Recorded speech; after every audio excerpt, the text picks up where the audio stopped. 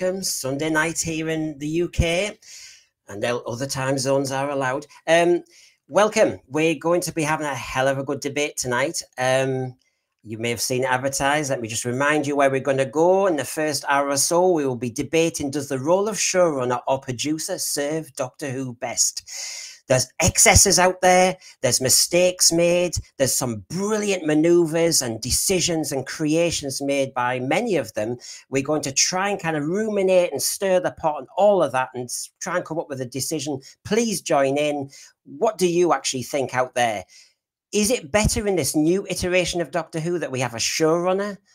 Or is it a produce? Now, I'll define it in a minute just to kind of help the debate. But then in the second half of uh, our discussion, after that, we'll be straight into the big news. And there's quite a lot of it about.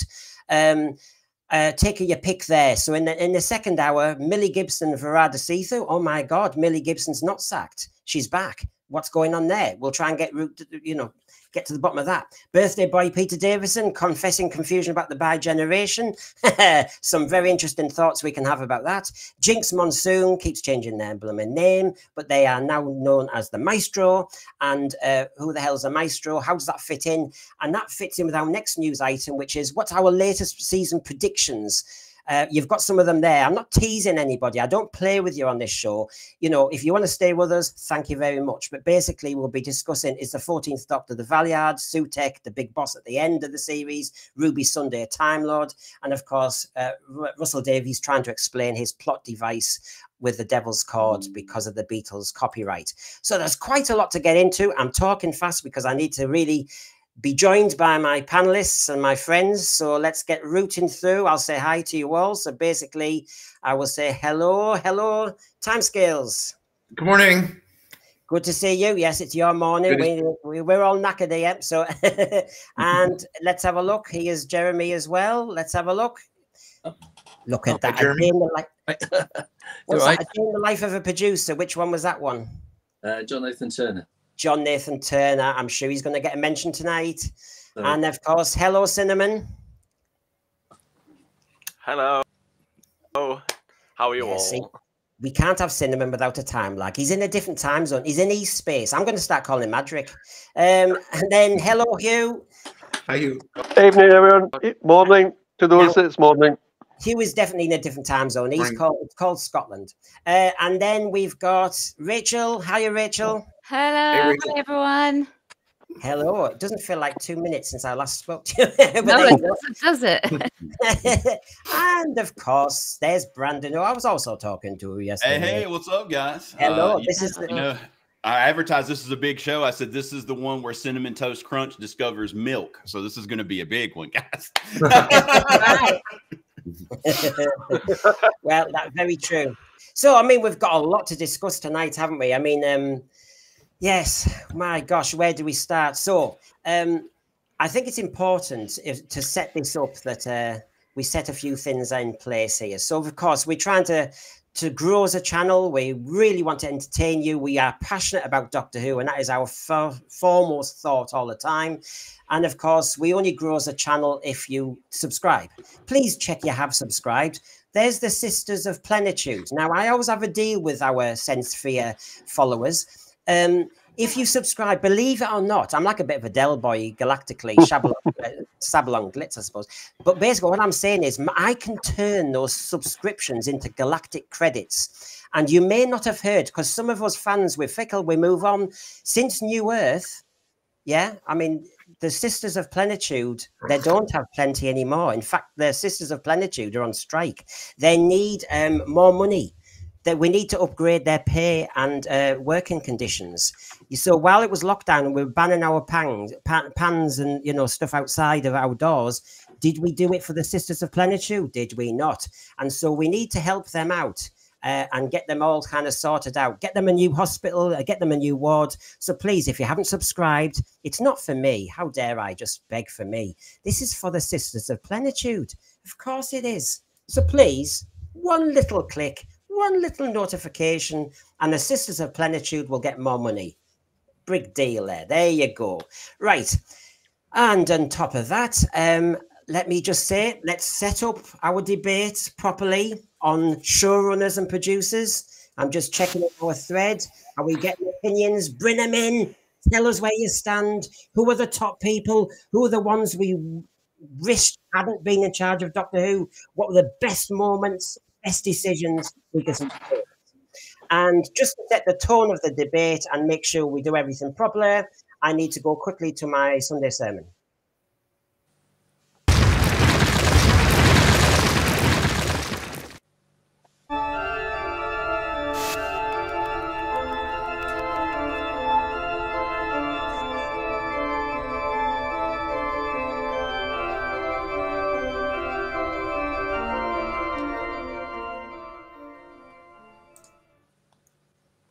Yes, very important. Our, time scales is panicking, thinking, is it, am I doing that? Am I doing the sermon today? Right, one week in May, I tell you.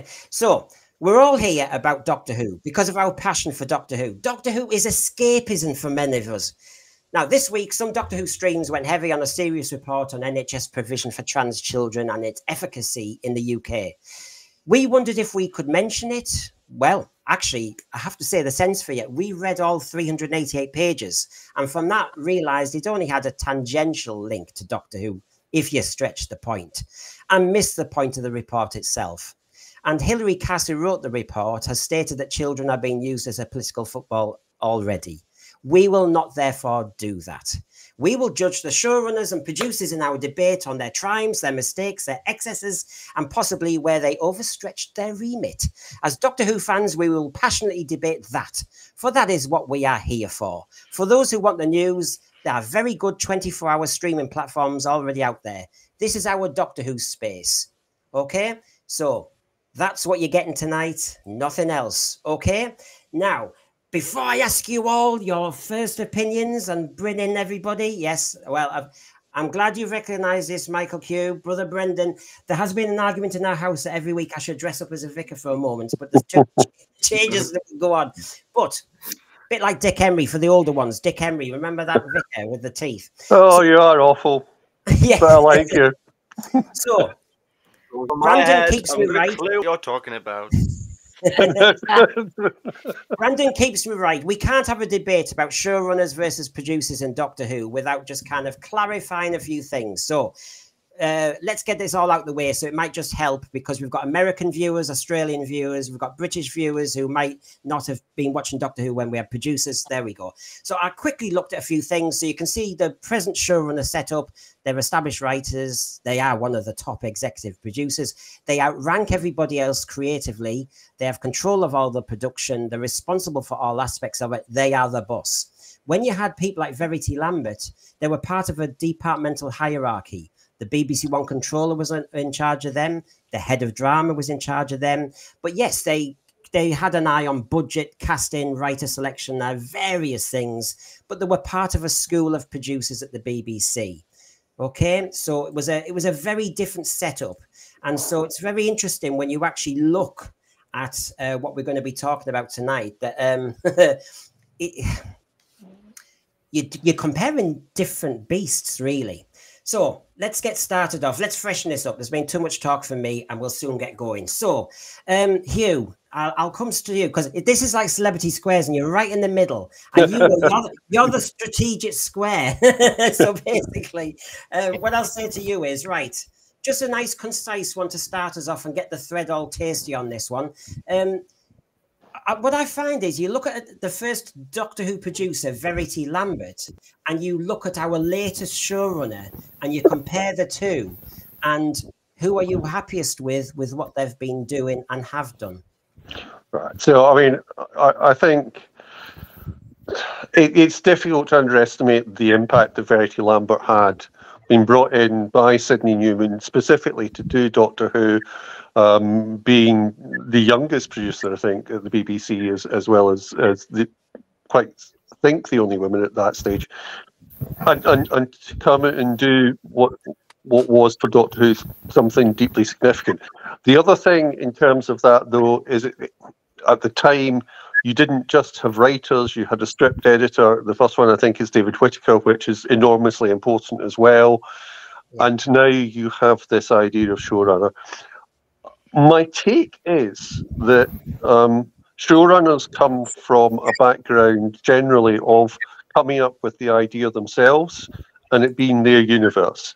So there's tons of stuff like The Wire and Sopranos, but if you want to look at something in terms of sci-fi, you'd look possibly at Babylon 5 with Michael Straczynski. That, I think, has, has a lot of sense. I think whenever Doctor Who came back, having a showrunner which was a much more sort of like it was much trendier and, and something that was was much more on trend at the time. I think possibly having Russell Davies as a showrunner then made sense. Um, I'm not sure it made sense going forward. I think to re-establish Doctor Who needed something, but I think it's it works better as a committee, and I think it's reducing the number of writers who work on Doctor Who. And the great thing about Doctor Who is the openness to, to new writers. Well, let's think about this then, everybody, uh, and and please come in when you can. I won't go around, around the houses in the usual way. There's too many of us, and you some of them you may be more hot to trot. So please just put in. And with cinema, because of the time lag, if I wave, you know that's the kind of if you can uh, bring it together and, and, we'll move on type thing. You know, I'll try and do that. So um, well, I've just just my microphone now, so maybe that's a little bit better. That sounds a bit faster, yeah. so the question is, the question is, um, Verity Lambert launched Doctor Who and was very much part of its creation. Um, and Russell Davies relaunched Doctor Who and is very much part of recreating it now. What's your preference, Rachel? Oh, oh, oh, oh, oh. Verity or Russell? Uh, probably Verity. I, I tend to prefer a, a, producer over a showrunner as well because um, what a what a producer allows for a producer like Verity is obviously, as Hugh said, like bringing in the different writers. Um, there is more scope for imagination, more scope for building upon um, different aspects of the story that perhaps you know um, Verity might not have actually thought of. Whereas with Russell T Davies, uh, he's very good. I'm not going to say that he's not very good. Uh, he brought it back with a bang with one of the scariest um, aliens that I, I could actually uh, see on the screen ever like but um he uh he he's more limited as a showrunner because what he says goes essentially and whilst he may be open to ideas he doesn't have to take them on board if he doesn't want to um so i think um verity is definitely the better one for me so, I mean, and, and you know, I'm not going to keep repeating the question. Don't worry, panelists, yeah. and, and, just come in. But basically, I'm saying this in a nutshell. Uh, we will look into the minutiae of producers versus showrunners and those in the thread. We will look at various periods of Doctor Who. Don't worry. But this is just as kind of started off. It's a quite a tasty question when you look at producer versus showrunner to look at the latest person versus the very first one. Does anyone want to come on on that uh, uh, with a kind of highlight where they would go with this conversation. Go on, Cinnamon. Well, it's a very good question. Um, I was quite surprised actually when I, when I did see the thumbnail for this stream because it's a very good topic. Really, it's a little bit different from one that I think we've done.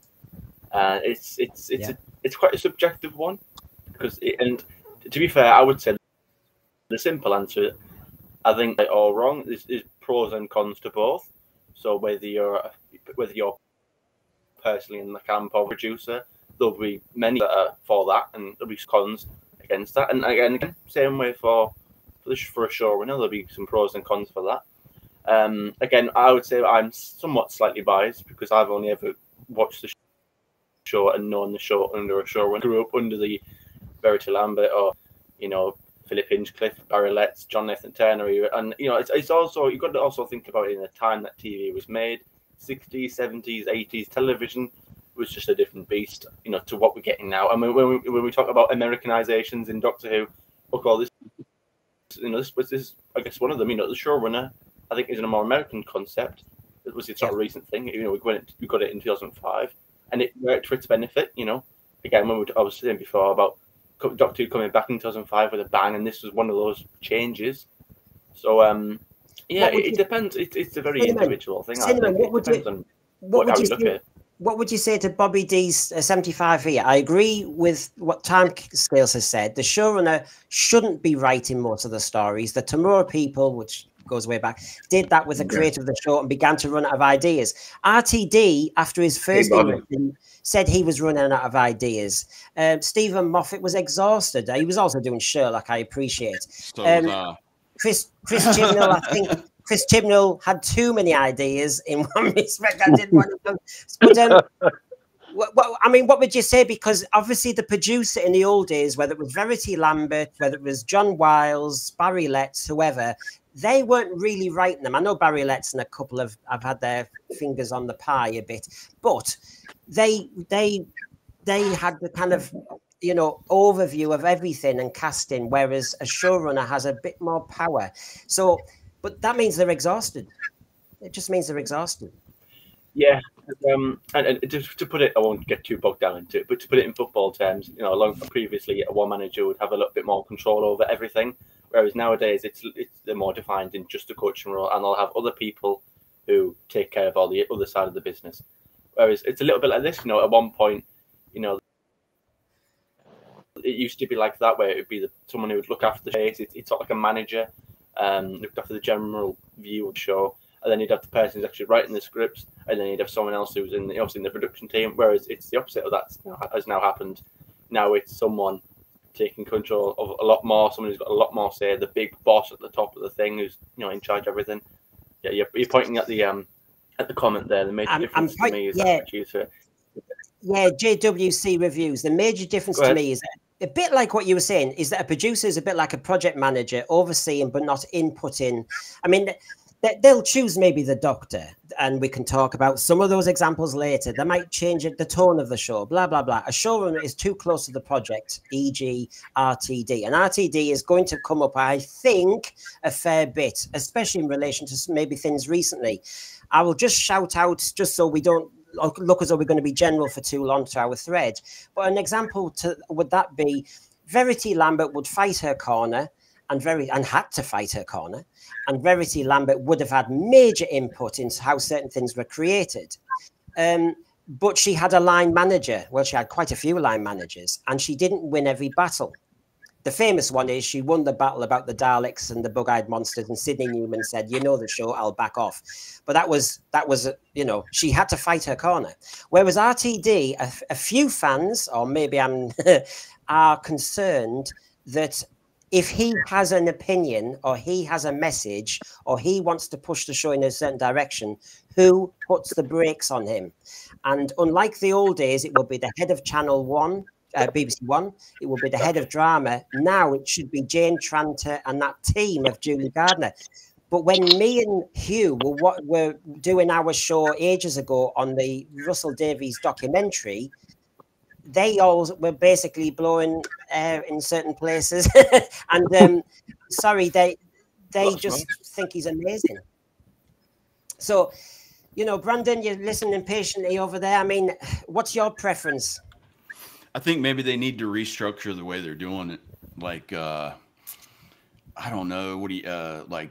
The the the decision making. Yeah, it's always great to have like one person, one final say to yay or nay things, but maybe they need the actual people like who are creating the show to not just be one guy who's also the writer, the producer. I just think they need to fracture the hats that one guy's wearing. You know, so it's a lot like what Scales is always saying about like the showrunner thing. Just kind of it's like I said last week. It's a king. A monarchy's great when you've got a good king, but when a bad one comes along, you want democracy all of a sudden. You know what I'm saying? So if he was doing things right and we were all down, it, it works great. But the way they've got their whole system structured now, when it's not working for a lot of us, it's just they need to maybe make some changes. I just don't know what those changes would be.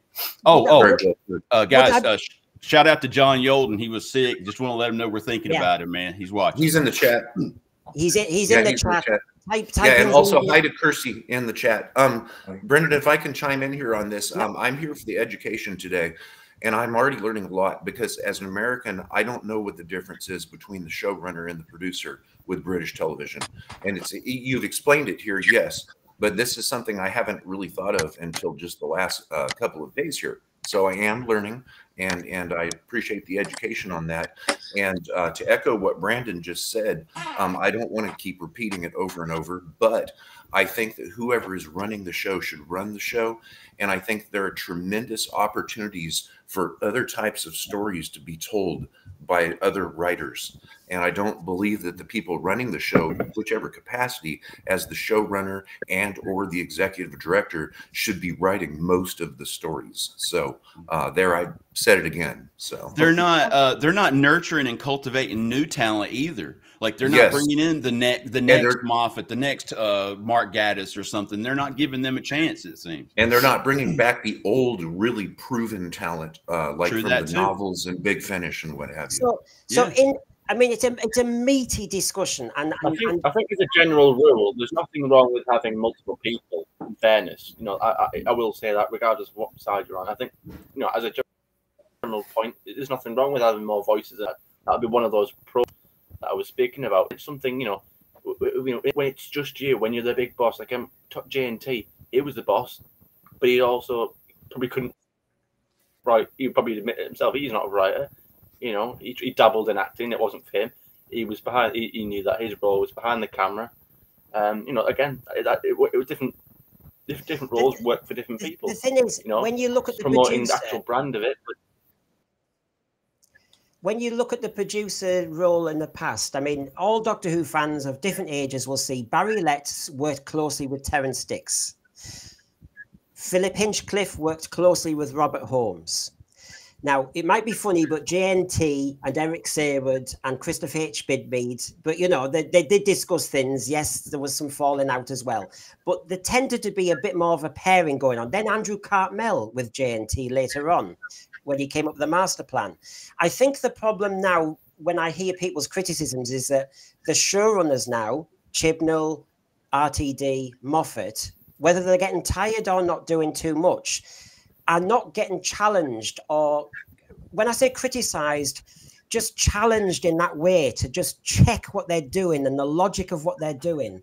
The, my famous example is Terrance Dicks and Barry Letts sitting down saying, Do you know what? We need a Moriarty to Doctor Who. We need a new Moriarty character. And they invented the Master. Now, that was a master stroke. Now, has RTD got anybody saying, you know, bi-generation, I'm not too sure. You, you that kind of thing. It, it's so, I, you know, please get into the. yeah, you don't into need anyone to say, "Oh, rules. you're wrong." doesn't seem to be. Doing. It just you know, someone else just to concentrate your mind a bit more. Just someone you know to, share those ideas, bounce, you know, the because it, because it helps you as a person. If you're not just you know living It's just like us. echo chamber, so to speak. You know, you know, I bounce ideas. It's like yeah, it's like it's like us. We, you know, I bounce ideas. I'm not always, you know, hundred percent sure in my opinion. I have an opinion, but I'm not completely like, you know. So I'll exchange it. I'll share it with you guys. What you think? You take a little bit back, give a little bit more. That's what this is about. You know, it, it's a bit like this really. Whereas if I'm in my own little thing, I'm kind of again on my own. So again, as a writer, there's nothing wrong with you know bouncing ideas off, sharing things. Not again, not having someone say change this, change that. That's Well, silly. Just well, let- it's let a me, simple um, collaboration of exchange. Well, let me be fair and then bring in Jeremy, and then I think everybody's at least said something, and then everybody can have a free for all about examples, mistakes, highlights. I've mentioned the master, for example, invention.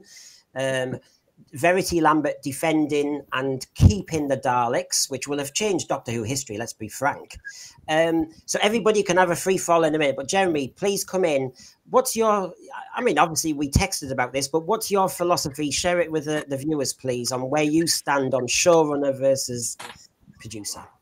uh, I'd, I'd rather have a producer rather than a showrunner.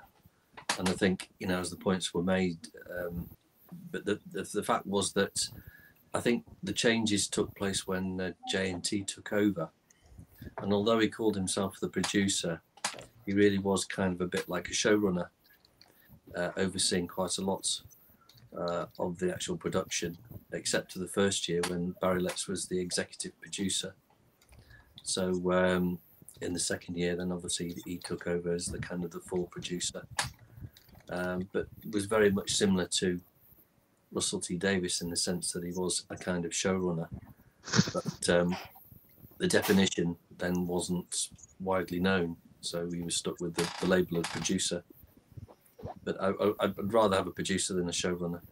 I think um, the showrunner title, I think it overtakes the program a little bit, and the personality and the uh, strength yeah. of the producer who's running it marks his puts his stamp on the, the whole of the show in terms of all of the scripts and, and everything else. Uh, you've got to have a bit of diversity in terms of different writers mm. uh, to find out which writers stand out more than the others do. Um, you know, otherwise we're not going to get another Robert Holmes or another Terrance Dicks or Pip and Jane Baker or. Well, it's interesting that it's interesting that in the past you had a producer with a strong lead writer, so to speak, like Robert Holmes, like Terrance Dicks, like Eric Saward. So in other words, you had that kind of overview producer knowing where the budget restraints are and what his boss is saying above, etc. And then you also had that more creative input between the two of them. You know, JNT would say, "I want a trial of a Time Lord series," that sort of thing. He would set that kind of tone and direction, but the writers would do the work underneath. That's kind of my understanding of it in a way. So, Brendan, there's a really interesting thing on this, which is that role, sort of like the the Robert Holmes um, role Douglas Adams, etc., is is down previously as the script editor, and there are still script editors and have been script editors for New Who, and I couldn't name one of them. Gary Russell is one of them, I think. Could well be, but I mean they're they're not they're not doing the, the role that was there previously. No, no, it's a, a, very different rule. Now, Rachel, let's just so everybody can see that we're going to expand this now. Uh, so, basically, Rachel, give us a couple of your mistakes or highlights of a producer versus a showrunner, just so uh, we we can yeah. get arguing with you or agreeing with you. well, here, here's the thing, right? I was just gonna actually my my two penneth that I was gonna put in. Yes, um, I've actually worked with producers and showrunners. So um, the level of control is completely different, and the feeling is different as well. A, showrunner, as an as, as, an actress working with a showrunner, it's uh, everything is micromanaged, like down to the last detail. Like push it out, push it out, you know, and uh, it, it's it's incredibly controlling. Whereas on another project that I've done, I've worked with producers and um, yes, they're involved, and yes, they will make suggestions to be changed, but they rely on you as the performer to to bring it to life and do a, a great job. And they will let you know if they don't like something. And it's the it's the job of the director to or the you know the script writer to um, you know add to the show, so to speak, and then obviously producers will make changes where they see fit but the yeah. the le- the difference in the level is is is quite something which is actually i i also think that's what affects my uh, decision of i would rather work with a producer than a showrunner so because i've experienced both um but to your original question um what was it yeah. what was that again some examples. I mean, um, I mean, Why while you're here? doing that, I'm going to just. Uh, I'm just going to explain. Um, Michael Q, I don't know what, what he's trying to say here. Chat and Brendan, I'm better go now to another channel. I, I, I think there's no reason to go to another channel because I've seen what the other channel is saying. And after our really meaty debate, we're doing the, the news, all of it. It's all there. It's just a matter of whether you want to press a button or not. I have to say, I think we have the quality panels, so I wouldn't be moving at all. Um, well put, Brendan. Can I can I ask Rachel something real quick, please? Yeah. Go on, because she's hey, going to start with um, examples. We've got to get into it. with with you working uh, with both showrunners and uh, producers, have they ever been the same, where one person was filling both roles, or are they usually different? There, there there's a significant difference. Yeah. Okay. So, um, like a producer would be here, there, and everywhere, whereas um, a show will be just more directly involved with what's going okay. on. Okay. Have you seen it yeah. to where one person is filling both roles? Not to that extent. So it's usually two different people. Effectively, yeah. Okay. Okay. Very good. Thank you. So, uh, let, so let's get, let's get into it because obviously we are competitive. So, Okay. in this debate, examples work, examples help, and actually makes it nice and graphic and visual to everybody. So, Rachel, Hmm.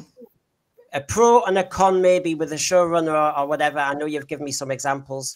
Yeah, well, my main focus, um, I think, because this is the this is the era I technically started out with, so it's the era that I know best. It Was be yeah, Jonathan Nathan Turner. Um. Okay, and I've got written down here Adric Collins coat, getting rid of the Sonic. The Sonic was getting rid of that was one of the best things ever. You you you know, you know that I think it's one of the worst plot devices that has ever been invented in Doctor Who. So when it went, and I saw that you know, um, uh, Colin Sylvester were not running around like zapping things and using the sonic screwdriver to. I'm using my pen, but to like fix things or, or whatever it is they were doing with the sonic screwdriver. I was like, yes. So we get some creative writing. Oh, Cinnamon's got his uh, Sonic out there, you know. But um, you know, the the con to losing the sonic screwdriver is um, the marketability to um, young people, uh, except maybe sonic sun sunglasses. But well, uh, that's just Well- another thing well, altogether. So before Rachel, you come to the other pieces. I know which they Oh, are. yeah. Don't worry. Don't worry. Yeah, what yeah. I'll do is I'll bring the panel in here because these are all good examples of. So we've got we've got a producer who decides we're going to make it a bit more kind of challenging for the writers to be more creative. So we'll get rid of in Visitation Part Three that very tool up there. Well, a lot of us know now that since New Who came back, the showrunners have, I personally think, excessively used various models of sonic screwdrivers to the point now where I, I just think it's a Harry Potter magic wand. So, is this an example of showrunners maybe thinking of the marketing, showrunners not being challenged? What do people think? Because this is a good example because you've got a producer saying sonic screwdriver, no, and then you've got showrunners going, no, I need I need them used more. I need I don't know what what's what's, Well, what's the it, reason? it, it isn't it sort of like if you Yeah, are doing lots of the, absolutely. if you are doing lots, sorry, on you go. Simon. This one. Thank you. I was just going to say that in the 60th, you know, we, we've had this discussion for a long time, really, about you know how powerful and how you know convenient sonic screwdrivers were used, and it's uh, and, and it's always been it in some of the it, well, it's always been one of those debates, but it seems like it's got even stronger because again, even in the 60th, we saw he was David Tennant's doctor was just creating sonics uh, shields with this one and creating barriers like it was some sort of Marvel piece. Um, so you know, at one point it was just a plot device to quickly get out of a trap door or something. Whereas now, you know, he's going all Avengers and all. You know, it's all. You know, it's all it's, it's stepped up a level, really, hasn't it? So I, I think that the, that's happened because if you are doing lots of the writing and don't have time to do the plotting, then it becomes a much easier thing to go to. Yeah, which is one of the reasons why I would. I, I actually prefer it without the Sonic. Like when they lost it in Wild Blue Yonder to uh, repair the TARDIS, that was. I mean, Wild Blue Yonder sucked, but it it it was great. You didn't You like it? No, I didn't like it, but Rachel gets blunt every now and again. you won't see it coming. Also, bam. I don't shout, but I can be blunt. But yeah, it just. Um, but when when it did go, I was I I, in, I was pleased that it wasn't used in Wild Blue Yonder. But you know what's happening, Rachel, is Yeah. they get they get rid of the sonic screwdriver or they bring it back. They've got Mhm. psychic paper as well now. They've got Oh, this yeah. other quick accessy thing. I I in the 70s, I'm a 70s Doctor Who fan, so to speak. That's where, where my formative years. And the doctor would have to talk himself out of trouble every single time. I kind of like that bit of dialogue. Whereas now it's just psychic paper paper bang. And I just think there's two if you've got the sonic doing everything, psychic paper doing everything, it just means you can run into an explosion faster and it turns into a Hollywood movie and not Doctor Who. Yeah. Yep, exactly. Like one of the, something I noticed, Brendan, since I've started listening to Big Finish is like the ones with um, like the one I'm listening to right now called The Fearmonger with uh, Sylvester McCoy. He just shows up places. You know, he doesn't have a sonic screwdriver or the paper, so he has to actually come up with some BS or, or lie to get himself out of trouble because the doctor's forever being in places he's not supposed to be. So you're right; it does add a whole extra element of of him having to be even more witty to, to explain himself if he doesn't have the paper. yeah. So I mean, I mean, Rachel's got some examples. I'm going to try and. I'm going to try and stagger Rachel because, to, to be fair, to bring other people in. So, the overall debate is which has served best, showrunner or producer. I think examples help, like the Sonic Screwdriver one, in where people have made mistakes, gone wrong, etc. Um, has you know um, on the top row there? Um, has anyone got an example of a mistake, or somebody got an example of a great highlight where it proves the producer works better than the showrunner, or vice versa?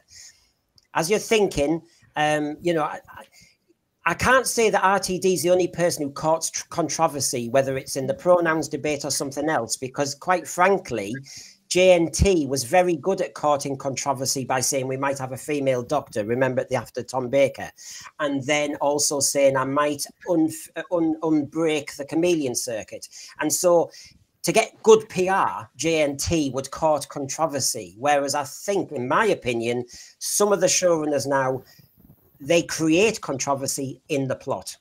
So on the top row there, timescales, Jeremy, Cinnamon, okay. any, any, any examples you'd like to bring I, in? Timescales? I have one just really short. I'll throw out. Um, regardless of it, if, it's the job of the showrunner or the executive producer to provide some sort of a safety net to where there's not to where uh, you can avoid redundancy, such as redundancy in the same writer. Uh, something has failed, I believe, because there should be enough talent out there for there to be eight episodes of Doctor Who with eight different writers. And I don't believe that there has been a sufficient safety net where a creative team can raise that fact and and have a little bit of control over that um, actually happening. So, as far as showrunner uh, versus the producer, the first time that I've ever thought of the fact that there probably could be some improvement in the management has been in New Who, and in particular, both RTD eras. I mean, I'm going to bring in hello, Dan Type 40. Hello, hello. I am oh, honored oh, hi, to have you. On, Welcome here. I am honored to have you on our channel, and you're giving us some time and support. I fully appreciate it because if if we are going to be good at this, it's because we've watched you and let you. Your, your channel has grown so amazingly. We all. I discovered you in lockdown. I thought you were amazing. So thank you. I'm touched that you've you've come. But your point is have to be honest, as a child, I was never that sure what the Sonic was supposed to do either. I have to say, this is interesting, isn't it? When we had producers who came and went, I think the plot ruled, the story ruled. And actually, the producer didn't didn't necessarily impose themselves on on on the actual Doctor Who program. I think with the showrunners, they really do ram themselves into it. And in the Sonics case, yeah, I think I, I agree, Dan. You know, it, it, it, was either used or it wasn't. I didn't quite know when or what, what for what reason. But now it's a marketing ploy. It is just a blooming marketing ploy. It's a get out because we don't want any long dialogue scenes. We just want to get to some more blooming action. It's Hollywood. Yeah. Um, Jeremy, it's a get out of jail free card. Sorry to cut you off. No, well, no, I, I was I was coming to an end there anyway. Jeremy, am I on the right lines here? Have you got a good example of a of a misfire or a, a brilliant masterstroke from a producer or a showrunner to prove our points? Well, a, a brilliant misfire is Russell T Davies, in the sense that he has okay. political views. so he will go on stage and about those political views and have different views on other issues, which we won't go into on here. But um, that would never have been allowed by the BBC back then with an in-house producer, say like John Nathan Turner or Barry Letts or whatever. But but with Russell T Davies, he's a little bit of a maverick in terms of his own personal agenda. And so I think wow. that's a bit of a misfire because once you start uh, explaining your own political views, where you're leaning, whether you're voting for Labour or Conservative, you're going to start to alienate viewers that do not follow your political persuasion, um, particularly if you're, you know, a producer. So it's better to stay neutral, and it's it's better to not really have a political view. I think uh, in this day and age, day and age, if you're a producer of a mainstream show, um, most of the producers back then didn't have a political. They may have had a political view, but they didn't want to share it with anybody else, and and kept it to themselves, and and kept in the background, and that's Well, the it's- difference between the the, uh, the producers back then in the sixties and seventies, and the producer now at the moment, Russell T Davies. And, and that's what I mean. I, you, I, I, I, we've all read that Barry Letts might have been a Buddhist and might have put it into Planet of the Spiders. Little touches like that. But I didn't know where they really stood, only if I read biographies now. Whereas there's there's no doubt where a showrunner stands now politically, and they've they've said it at attitude uh, award ceremonies in various places. And and then you, you and then you look at the plot, and then you look at characters that are introduced, and then you start to read it the story in a different way. And that's what disappoints me all the time about this, which is we know too much about where RTD especially stands. Um, and then you read into certain characters and certain moments, and certain moments get people angry and irritated. And it, you just start to think, wh- where where are we going with this? Um, I mean, you know, I've got examples which I can show you. For example, I, I, RTD seems to be a, a real obsession at the moment. I know a lot of people are worried about so many things. Um, now, if I can, I'll bring it up in a moment. It's not quite there yet, but I'll, I'll bring it up in a moment. But um, you know, the start the pronouns debate, Uh, but actually his Davros Gate, what he said in Unleashed, uh, what he says at various ceremonies, it, it is very concerning when you see it then transferred onto screen because then you think, as you say, Jeremy, it is only one standpoint that we're ever going to get. There's no challenge to it. They all seem to be in an echo chamber of saying, in this case, Tories out, this, that, that, that you know. Um, whereas I never knew that. JNT was the closest to RTD in some ways, the big showman. But I don't, I didn't really know where the hell he was going with politics. Just didn't know. Can, Um, uh, can I, I see one uh, something positive for um, Russell Davies as a showrunner? It goes back to um, his first stint, which is I Yeah. think the choice to make it slightly more soapy, in the sense of introducing family for the companion, was a good decision in terms of, of making it feel more real to people that were watching it then. And I think we'd moved away from um, being able to just have people appearing from nowhere and then disappearing and having no connection anywhere. So I think I think sort of like in, in, but that's not that's not an agenda for the program that makes it difficult to write a story because you can write any story and still have that. It's it's just something that makes the story slightly wider and slightly more um, complex for what you're doing. Yeah, I mean, you know, one of the examples I was going to obviously uh, show, and I might as well get out there because we're not going to go into certain other things that have been out on the news, but what we will look at is what actually has been said by RTD. So here's an example of our showrunner, and I cannot think of Verity Lambert, John Wiles, Innes Lloyd. I could go on doing any sort of kind of discussion. Admittedly, they never had Unleashed and Confidentials but however, so on one side in, in the yellow there that's when yasmin finney is talking about the star beast and in the blue is is russell davies' comments. And this is all about as you know the trans character etc etc and so fair enough yasmin finney is quite happy to see this representation. And as she says it will be a completely different story i think.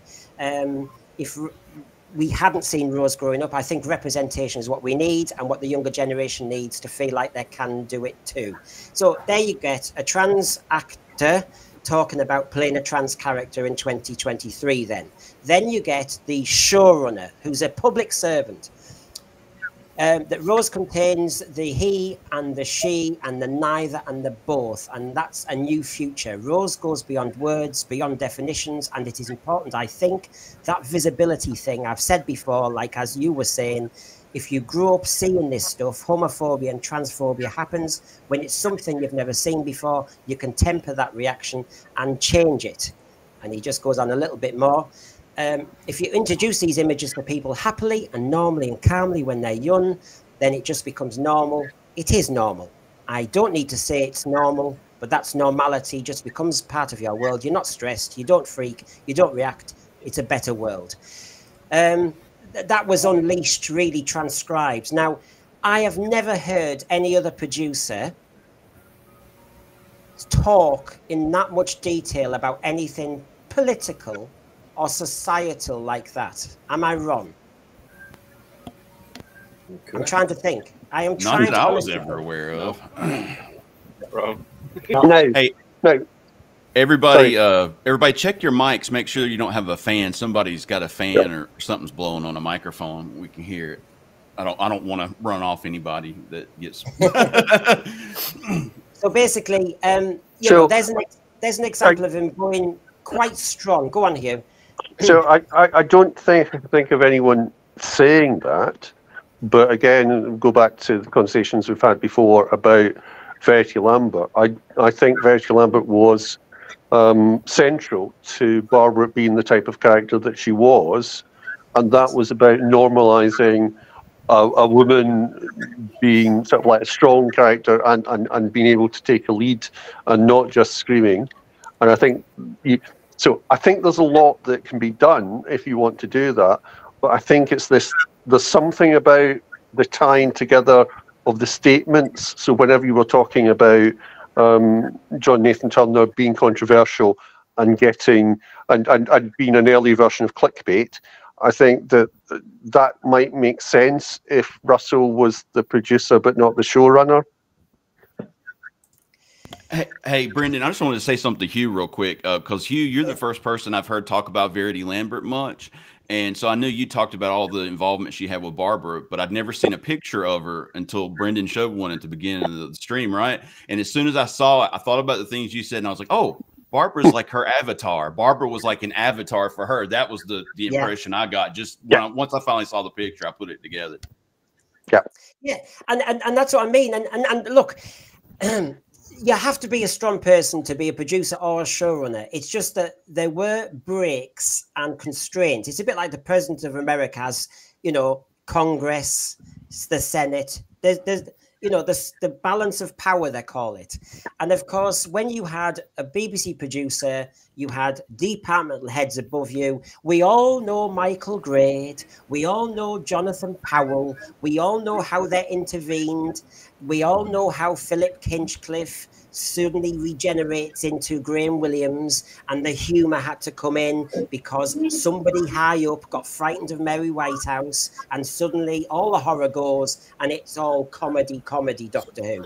We all know that, but RTD, Steven Moffat, have really injected an awful lot into the show. So I find it very interesting how I you can see where I'm going, folks, in the thread. I really do feel as though the excess outweighs the benefits here. Cinnamon, you wanted to say something, I think, and then Rachel. I think it. I think it improves in certain situations, certain contexts as well. I think it improves the quality of the scripts as well. When we talk about showrunners and producers, I mean, look at Moffat. I mean, he was showrunner of Doctor Who and then Sherlock at the exact same time. So if it, if, it- wasn't already a, a lot of pressure on Doctor Who, then you know he doubled the pressure. You know, worrying about a whole different show. And then that was when you know, and we talk about you know as much as Capaldi was amazing Doctor, the scripts weren't always the best. You know, he gets some good gems like the Mummy on, on the you know the train and the Mummy on the Orient Express. You know, but like a lot of those start seasons, a lot of those you know they were a bit little bit samey, and you know, and there was always that discussion was you know Doctor Who's coming a little bit a little bit like Doctor Who. Whereas again, if we had a producer, I don't think that would have happened. And again, there was less constraint, less pressure. Um, I feel like the- the- it's up to maybe if you know if I had a- my my car to, to, two wheel two wheel it'd be a bike or whatever. You know, I, I get that, but you know, it's if we, if there was, if there if there was a producer at that point in time, then we wouldn't have had the perhaps the issues or, or, or the or the Let's have a look. that. If we had a producer, it would be better, you know. Well, that's why we're looking at examples because examples hopefully enlighten us. Now, Rachel, what were you going to say? Um, yeah, so it's just going back to what you were talking about um, with uh, what Russell and um, Yasmin were saying Yeah, on yeah. on the Star Beast. Um, it's, I think a lot of uh, this sort of thing also um,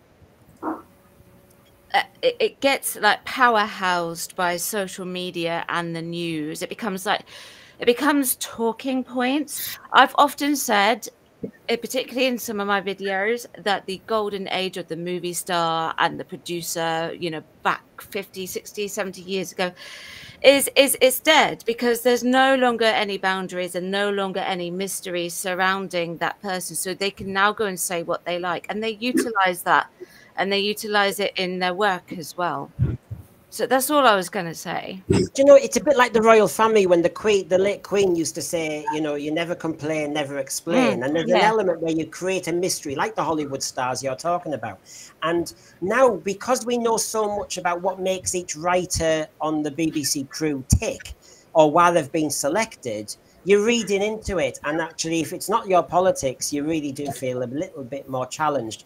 And just like somebody, I think Melanie was saying in the thread, you know, it, it, it is it getting to that point if you don't like where rtd is going with it it's not your show anymore as in you know it's kind of it's hard isn't it because the, it's he's the immovable object really um and Can it's a shame also because with, sorry, that's another thing though well. with all the producers you never got that Because, feeling you know, you know, you might see JNT in his Hawaiian shirt and all the rest of it, and that he was a bit more famous, but um, and flamboyant. But JNT still made sure he well, he just made sure the program still existed and was out there. Um, there's a lot of places we can go with this, and, and I just want to throw one or two up there to get you all thinking. But if, for example, am I blaming too much the showrunner versus the producer? The BBC itself has imposed itself on this Doctor Who program many, many times when the producers had no choice. Um, you know, so sometimes when we're looking at producers' mistakes or, or credit, it has to go higher too with that, that kind of discussion. It's a really difficult one, this, and I think the only way we can really navigate through this is via one or two of the examples and actually really look at how they've been played. So, does anyone want to share one? I mean, I've got, for example, um, well, you know, because I'm, I'm, I'm, I'm not, I'm trying to fill in gaps if nobody's got one. Um, but basically, uh, let's have a look. Last one on RTD because it's just the present stuff. Davros, as you know, is the last one. Now we know the story. I'm not going to go over Davros Gate again. I'm not. So in the thread, don't worry. We've done shows on it. Every other stream's done it. I'm not going to do that. But this is what he said in Unleashed, and I wanted to just discuss whether we think this is the role of the showrunner going too far, or is this acceptable? So basically, as you know, um, time and society and culture and taste has moved on, and there's a problem with the Davros of old in that he's a wheelchair user who's evil, and I had problems with that, and a lot of us on the production team had problems with that. uh, of associating disability with even, and trust me, there's a very long tradition of this. Um, excuse me, I'm not blaming people in the past at all, but the world changes, and when the world changes, Doctor Who has to change as well. So we made the choice to bring back Davros without the facial scarring and without the wheelchair support unit. I say this is how we see Davros now. This is what he looks like. This is 2023. This is our lens, and Davros used to look like that, and he looks like this now, and that we are absolutely standing by. Now, you know, there's no compromise at all. Okay, he's the showrunner. He runs everything. He's a supremo. A producer would have to argue that point with the head of drama. And actually, because Davros is such an iconic character, it might have had to have gone to the head of BBC One, possibly. Now, I, I will It's say funny, this, it, the- I, I will, I will say this and then I'll shut up, right? I'll say this and then I'll shut up on the Davros one. It's just an example. But basically, on the Davros point, if I would actually say, if show, if the showrunner says the Davros character is problematic now in 2023, I would say rather than compromise, mate, because he's having his cake and eating it, he's saying, I really love the Davros character, but I don't like how he looks. Well, I'm sorry, you can't have one or the other. So basically, park and retire the character. Be brave enough to do that as a showrunner, rather than, you know. Now, I, I know a lot of people want to come in, but if I'll let people come in on this example first, and then I will go to Brandon. Rachel? Okay, so with the with Davros Gate, um, the fact that he drew attention to it was what made it problematic. It was never Yeah. problematic to begin with. Definitely. The fact that he went and said all of that, Yeah. that made it prob- problematic. And then they, he introduced, uh, so he gets rid of the um, the life support system, brings in a, a new wheelchair user in a good role. Um, well, I say a, a good role. You know, it depends what your perception of good and evil is. Um, and essentially, he gimmicks her wheelchair immediately and blasts. And it's yeah, I say it's cool, but blasts off rockets and essentially turns it immediately into, in my opinion, a stereotype, a bit of a gimmick, a bit of a tool. And that's that wasn't fair. So it only becomes problematic if you draw an attention to it. And he, he drew attention to Davros and immediately to Shirley by turning her wheelchair into a weapon. I mean, I mean, that her name, this this is my issue, and and Sadako, yeah, we're not debating the Yeah, disability thing yeah. this time. It's been done. The, as he says, there's a part of me that gets what RTD is trying to do, and fine, we, we might agree with it or disagree with it. That's not my discussion tonight. My discussion is the idea that um, if that's his final decision as showrunner, he says it's that's final. There's nobody else to challenge that. There's nobody else to say, hold on, this is an iconic Doctor Who character Exactly. and and yes, you really feel like that's your issue, um, RTD. However, we as the BBC want Doctor Who to look like Doctor Who, and we want Davros to stay the same. But it looks as though that does not get a look in anymore, and that's when I get concerned about the role of showrunner versus the role of producer, and because he's yeah he's bothered about the the, the the marketing and that. Brandon, you were going to come in. Oh, I just had one quick thing to say. Um, one of the ones I noticed was like, I mean, look at Moffat when he took over from RTD's first run. You know, I told you and Rachel yesterday that I'd recently, like, within a space of a couple days, I like binge watched season 10, right? Like, I'm on the hunt for where this all went wrong. And uh, I noticed, like, like there wasn't anybody to kind of tap. There must not have been anybody to tap uh, Moffat on the shoulder and say, "Hey, pal, back up a little bit." You know, you, you don't need to tell them Bill's gay every episode. They know, they saw. You know what I'm saying? Just little things you saw them doing, and like little jabs and stuff. Is like you could see there that there needed to be. Um, I mean, that's just one of probably uh, many cases where somebody need to put a hand on their shoulder and say, "Whoa, whoa, whoa, back up a little bit." Yeah, because I think the Doctor Who was successful in the end because actually they had budgetary constraints and various other constraints. And in the end, you had to really think carefully and do amazing experimentation with CSO and lots of other things. And so, of course, when when you've got somebody who's got no brakes on them and a big budget, you then really go in such a completely different direction to where you, you could have been with challenge and you know breaks on it. I really do think if you don't like the Davros character and you're a Doctor Who showrunner, um, you need to make a decision.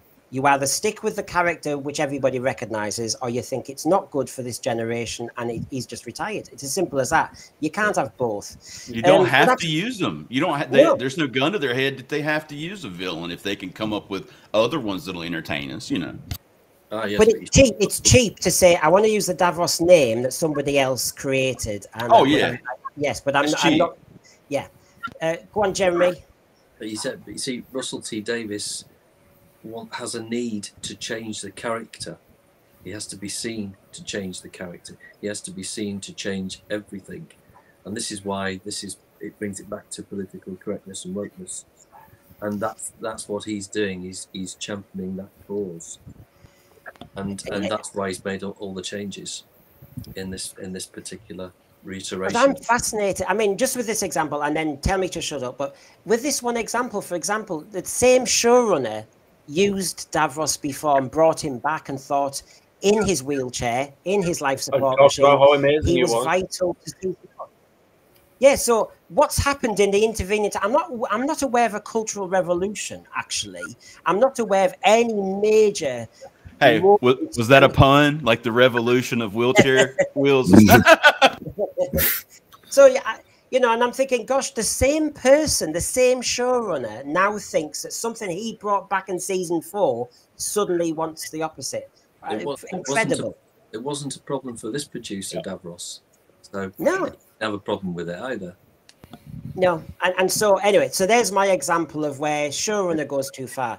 Um, I now, agree um, with I, I agree with everyone on the panel, but I really do have to to put this in um, that I believe with Davros, Russell T Davies may have actually gotten it right, and I know that that's uh, not a popular opinion.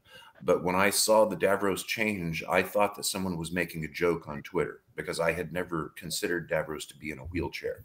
So what I did is I contacted uh, Gaelynn Lea, Broadway music composer and a famous and highly respected public disability rights advocate and public speaker for disability access in the performing arts. She is a long term wheelchair user, and she said that she did see Davros to be problematic because, um, as a long term wheelchair user, she did see Davros as being disabled and she believed it was for the better.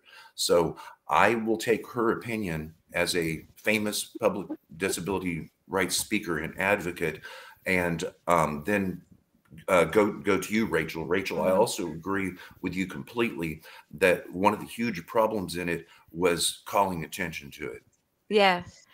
Um, just to well, counter that, it's interesting that um, the the lady that you know um, said that because um, my one of my best friends, he's a wheelchair user, and when I told him what um, Russell T Davies said, he told me to f off. He thought it was hilarious that Russell Really? T How Davies fought like that because you know, British. yeah, yeah, I know, right? Straight to the point. You know, you think I'm blunt? um, no, but yeah, he thought the completely, completely the opposite. So I I just found that interesting. That's all. Well, and it also it also supports this this overall question: Do do the executive producers and the showrunners have too much control? Maybe it wasn't the right But, that- decision. but that's How that's many my point. people were on If- the if- team, and Mm. who could stop something like that from happening if it was actually if, wrong? if he ends up does being the on the right showrunner side, the final say?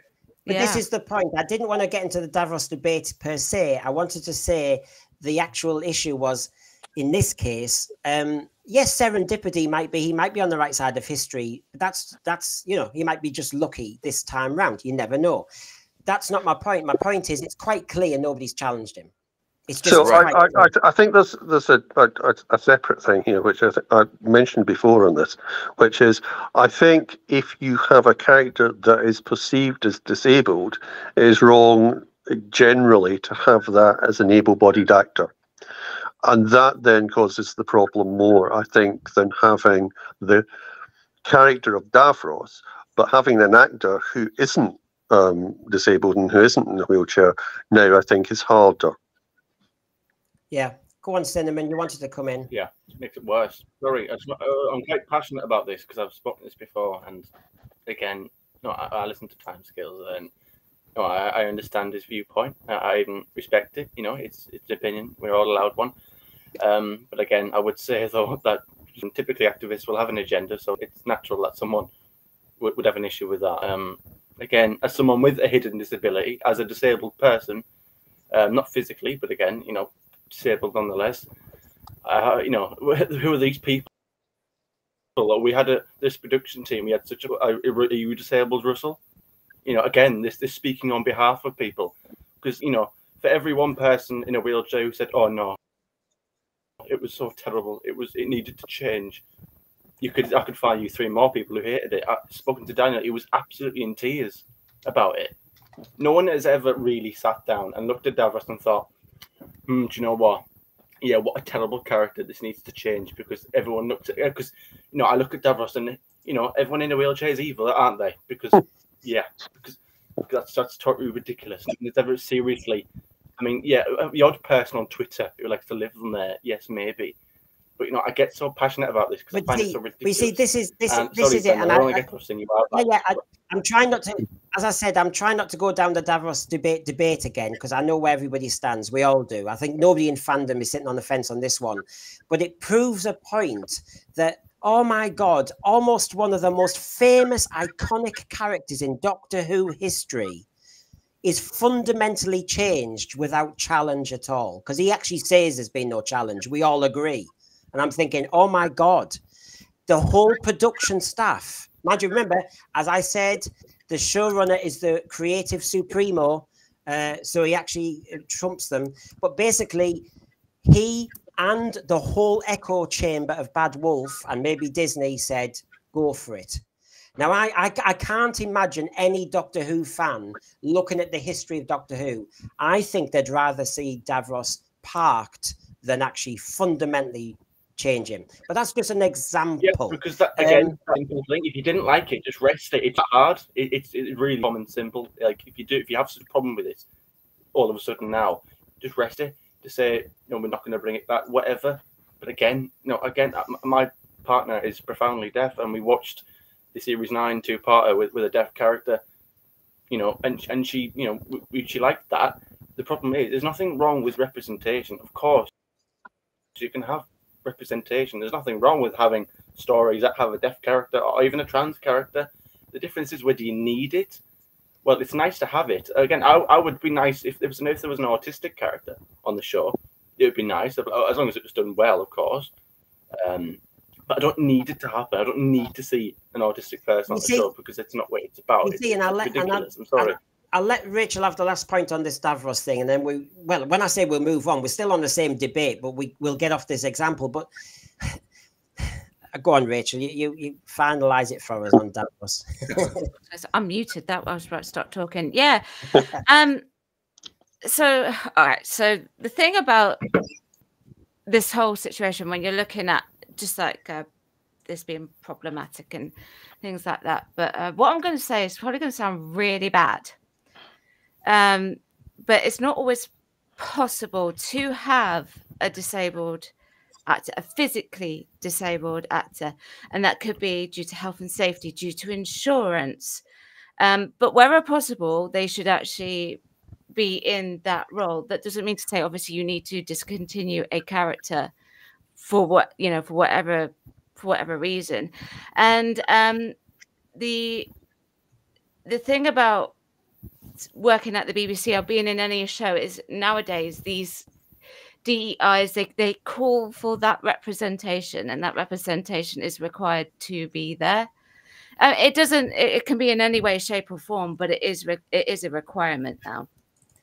And what is a DEI, Rachel? Uh, it is well. there's- I don't really know what it stands stands for, but it's it's Diversity, equity, and inclusion. it. inclusion. yeah.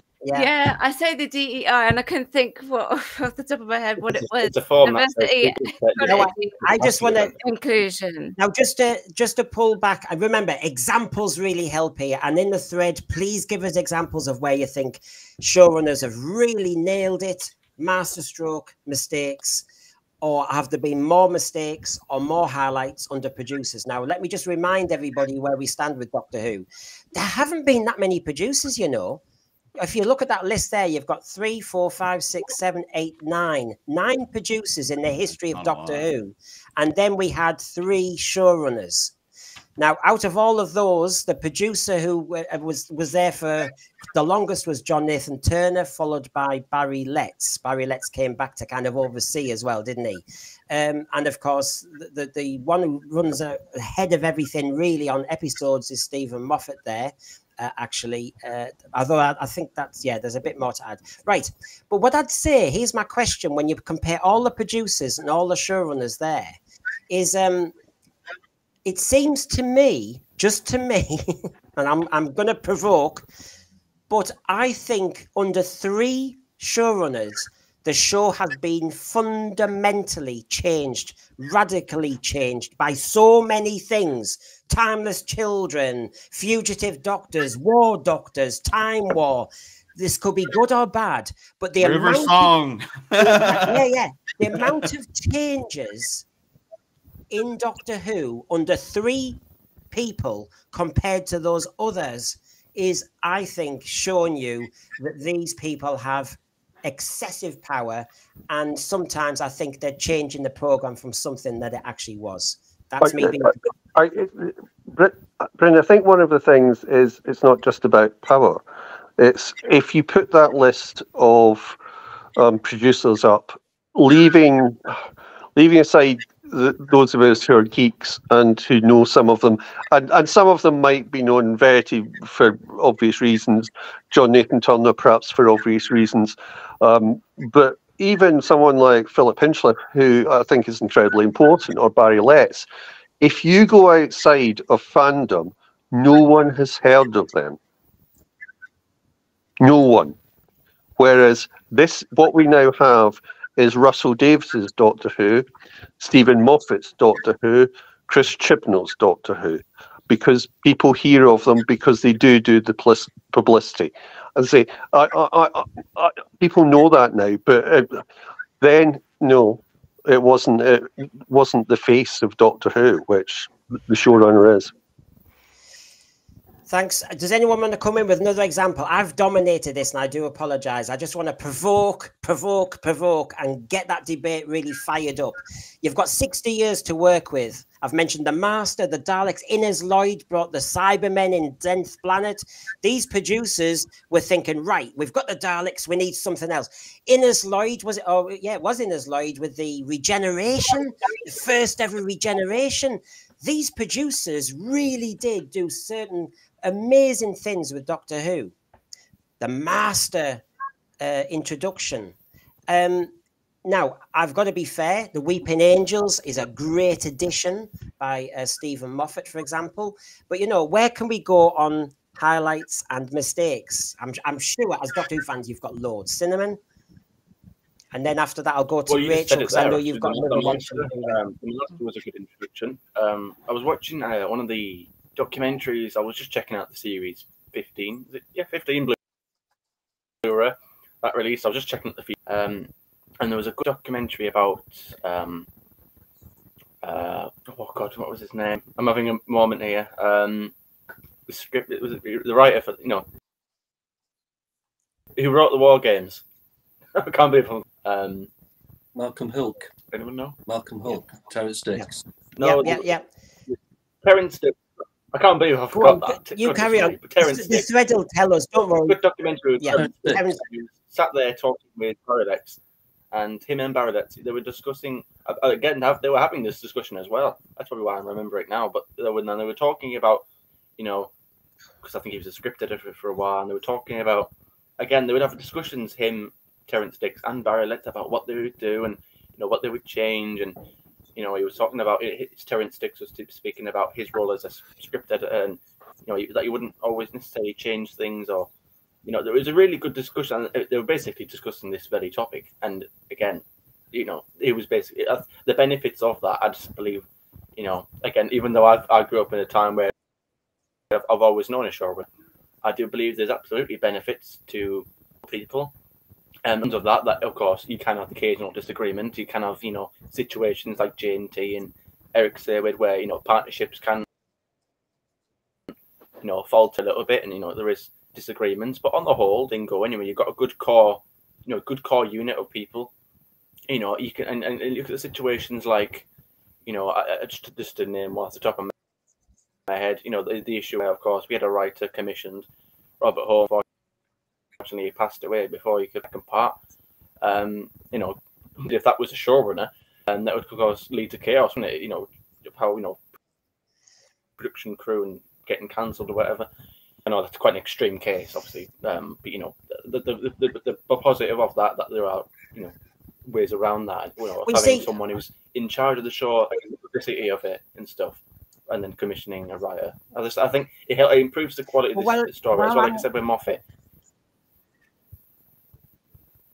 well, yeah, I'm, I'm, and, and honestly, examples really score here because we can all kind of you know, tear them apart. So, for example, when we're looking at producers, uh, if I'm if I'm steering my conversation and my own judgment to say producers overall were more beneficial for Doctor Who, you with each one you can say with J and T you had something like Caves of Androzani. That was a big benefit. He he decided the right director for the right thing, which a showrunner does as well. But he wanted um, a certain way of doing it. He wanted a certain style, and you've got that. But the one story later, you've got the twin dilemma. So you go from one thing to another. So you think, well, okay, then Cave of Androzani is a big hit under JNT. Twin Dilemma is a big miss under JNT. You've got somebody like um, Peter Bryant, okay, in the 60s, Web of Fear, but then you've got the Dominators. You've got somebody like Derrick Sherwin, who sadly, in a way, now some, now this is where the thread will kick off either way. in that first season of Jon Pertwee, he was the one. Uh-huh. Who, he was the one who set up those four seven parters. Right, you know that was an interesting one. You know, um, so you, again, the BBC sometimes, with their neglect of Doctor Who, have let the producers run the show. so while we say the showrunners, and, and I know Hugh says it's not necessarily about power, but um, sometimes the, the BBC couldn't give a damn about Doctor Who. And in the end, J&T was just keeping the blooming thing afloat. And there were parts in the late 60s when really Peter Bryant and Derrick Sherwin and then Barry Letts were really allowed to do what they wanted to do because basically the BBC had lost interest. You know, there's that kind of element too to this. Well, even Um, in- in Rachel- 2005, wasn't it? They did that in 2005, where Rachel, you know you had an example, another example, because examples score well here, helps the everybody. Um, so another one of a good or a bad. Well, um, okay. So one is not bad, but it's not it's not great. It's it's good. It's it's, it's kind of middling. Um, and the other one, well, it's just bad. Uh, so I'll start with this one. Okay. Um, and that's Colin's coat. Right, and now, I just want to be clear here, right? Colin is my favorite doctor, but that coat was terrible. He didn't want to wear it, right? He didn't want to wear He it. He wanted to no. dress more like Eccleston did. I think he said. I, I think that's what he said. You're absolutely right. But um, now there it is on screen, bright and colourful. I, I admit I do want that as as a cosplay costume. I'm not going to deny that. Um, but he he did customize it himself with a little cap brooch, and he changed those on a regular basis. But um, th- this is what I feel like with this one, um, particularly because it became it came off the back of of um, the Caves of Androzani, which was a brilliant story. What I feel like is because I said in the last show that Peter Davison's Doctor is more humane, he's a little bit more arrogant, a lot more calmer. And I think what JNT wanted was a bit erratic in his decision. He wanted the complete opposite. Now, he knew that Colin was going to give that to him acting wise, because Colin, I think, is much more like the earlier doctors, in my opinion, particularly Patrick Troughton um, in many respects. But he also wanted to do that through the costume. And um, I believe the costume designer thought that was a joke.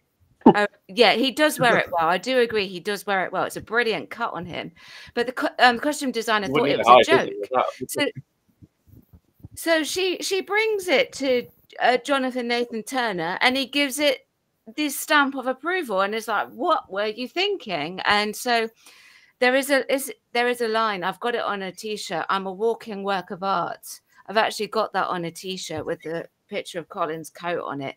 But um, he just picked it up and he and he wore it. But to be honest with you, with a loud and quite brash doctor, do you really need that kind of coat?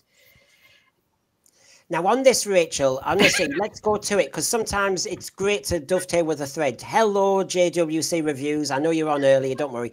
Speaking of courts, J&T's insistence that the Doctor have a designated costume from Davison onwards and that question mark collar with Tom Baker onwards is an example of the producer interfering.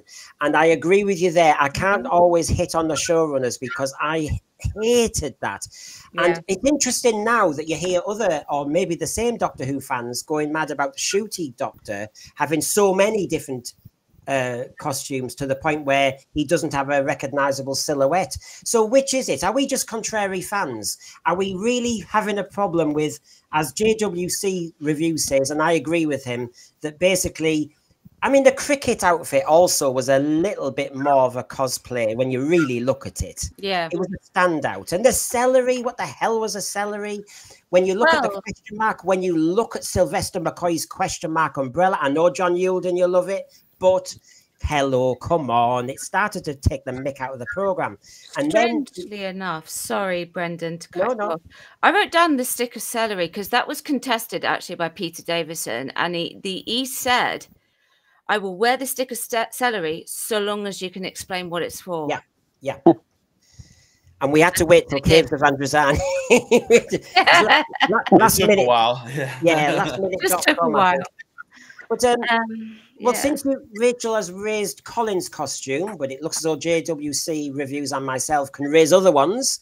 And then if we come to 2024, the 15th Doctor's been in a kilt in a nightclub in just a tight white top. He's wearing a leather jacket, blah, blah, blah. Which is it? What do we want? Do we do we think the showrunner's got it right that he needs to be a bit more authentic nowadays and changeable? Um, or do we need to risk going down this marketing road as J&T did? What I'm wondering if this could possibly be for marketing of action figures, because Yeah. um, I'm still waiting for the Ncuti Gatwa action figure in just his underwear. now, imagine if there was a new Ncuti Gatwa action figure in each it? of his costumes. Well, you know, Doctor Who fans have shelves, and I can just imagine a shelf lined up with all of the Ncuti Gatwa uh, action figures in each different costume. I don't. I don't think Al Dua's going to do one. I don't think he's going to produce one. I don't think he's got, he's got plans for that. Yeah. I mean, how would uh, yeah? Now, uh, so I've asked you about costume. Nobody's biting at the moment on that one. What about if I said then? Oh yeah, okay, yeah, it's well, tradition, man. I, I would keep it. Sorry, I was actually thinking about what everybody was saying. Ah, okay. let me say, I'll just say real quick. I wouldn't mess with that. I understand like doing small variations, kind of like Tom Baker did, maybe a different hat, different jacket, little things like that. But I think it's good, especially for young people and kids, to make that image a lot more iconic and, and recognizable. So they should more or less look fairly similar, unless they're in a special situation or like a big gala or something, need to wear tux. But overall, I think it's very important to the way they, at least up until now, that they portray the Doctor, and they need to keep doing that, in my opinion. Right now, before we just uh, kind of bring the the debate to a, a, a certain point, um, I just want to remind people that obviously we've I'm, I'm, a lot of our um, panelists might be saving they their fire for some of these items. We are yes, we're going to be looking at these tonight. You can see them there, so stay with us. We are going to be doing that. But I've got my question from a panel now. Since we're talking about um, producer versus showrunner who actually was the best cus- cus- custodian of Doctor Who over the 60 years? You're going to start a fight. Mm. I mean, who did it? gonna be a scrap. Cinnamon wants to start, and don't worry, we'll we will get back to um, Rachel with your example. But go on, Cinnamon. Who actually, in the end, either by accident or fluke or whatever, was the best custodian of Doctor Who? And was it a producer? Was it a showrunner? I think it's got to be for me. I would say JNT, uh, and you know, yes, he tried to leave at certain points, but you know, and the, the fact that you know, kind of coerced staying a bit longer. You know, he's like, oh, begrudgingly, you know, he spent a lot of his time on that, and and, and do you know what? For the mistakes, yeah, we can look at the things like pretentious question marks and stuff like that, all the silly things of that era, and all the things at time that fans are frustrated about. But I think end of the day, from what was it, producer, all this, you know, back in all the other jobs he's done on the show throughout the years, he spent a lot of his life on this show. Really, Uh, you know, when we talk about service and stuff like that, that's a lot.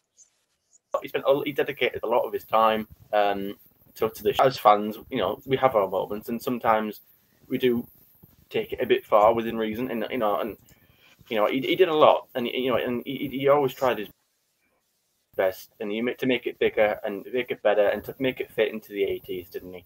Um, and it's just a shame that you know that you'd always get something for him after he left the show, and it, it never really happened, and he kind of and uh, it didn't really get much better from after that. So it, it's unfortunate how Well, as we go around the panel, I mean, on the JNT score, I have to say, I think it's quite clear that there was a point when he was trying to get out, and I think fair enough for everybody's career, he was trying to get out. But but actually, because the BBC was so disinterested in Doctor Who, if he left, the show was over. So bless him, in many ways, he Yeah. he kept it going anybody else to say. up to 89. The other thing is, I was at the 1983 convention, uh, the Longleat one, and he got the Americans involved. He had conventions in Chicago. I mean, whether we call him showman or whatever, he was trying desperately to keep this program going. So he was a bigger, larger than life producer, and he really did try and make Doctor Who go He was global. ahead of his time as well, massively. I think. Yeah. Yeah. So where, where does anyone else want to go with the who was the best custodian of Doctor Who I, I would s- I would would say John Nathan Turner. Funny enough, um, because I think he- at the end of the day he had a kind of symbiotic relationship with with the show. Um, you know whether that was the right sort of relationship or not as producer. Um, I don't know whether he should have been dis- dis- distant from the show. You know, separate. But um, I think he did care for the show Yeah. quite a lot and I think it, it does show in terms of um, him going abroad and producing, uh, promoting it, and, um, and I think I think that shows over the years. However, again, I think he stayed too long. I think he got typecast as a science fiction, you know, Doctor Who producer, and I think- think, um, I think he should have he should have left a few years earlier. I think this is the problem that when the BBC got neglectful of Doctor Who, you had to hope that there was somebody who actually was putting it first. He certainly didn't put his career first. Um, Brandon, where would you go on, on your decision? Ooh, um, it's hard, but like if I started to narrow it down, it'd be between um, Terrance Dicks, JNT, maybe maybe Hinchcliffe. Uh, it, for me, it's between JNT or Terrence Brooks. I mean, just personally for me, as far as talking about the things that I like a lot, you know what I mean? Because we each like a little bit of something. Some a lot we like a lot of the same things about Doctor Who, but each of us has our own little niche thing that we like about it that's different than the others. Like me and Right. John are partial. We like the Seventh Doctor and stuff. You know what I mean? Or like like Right. like that whole era. So J and T for me probably because he gave quite a bit of himself to keep it going. So, so he's he's definitely deserves recognition for that. And you know what? He started the 45 minute uh, format.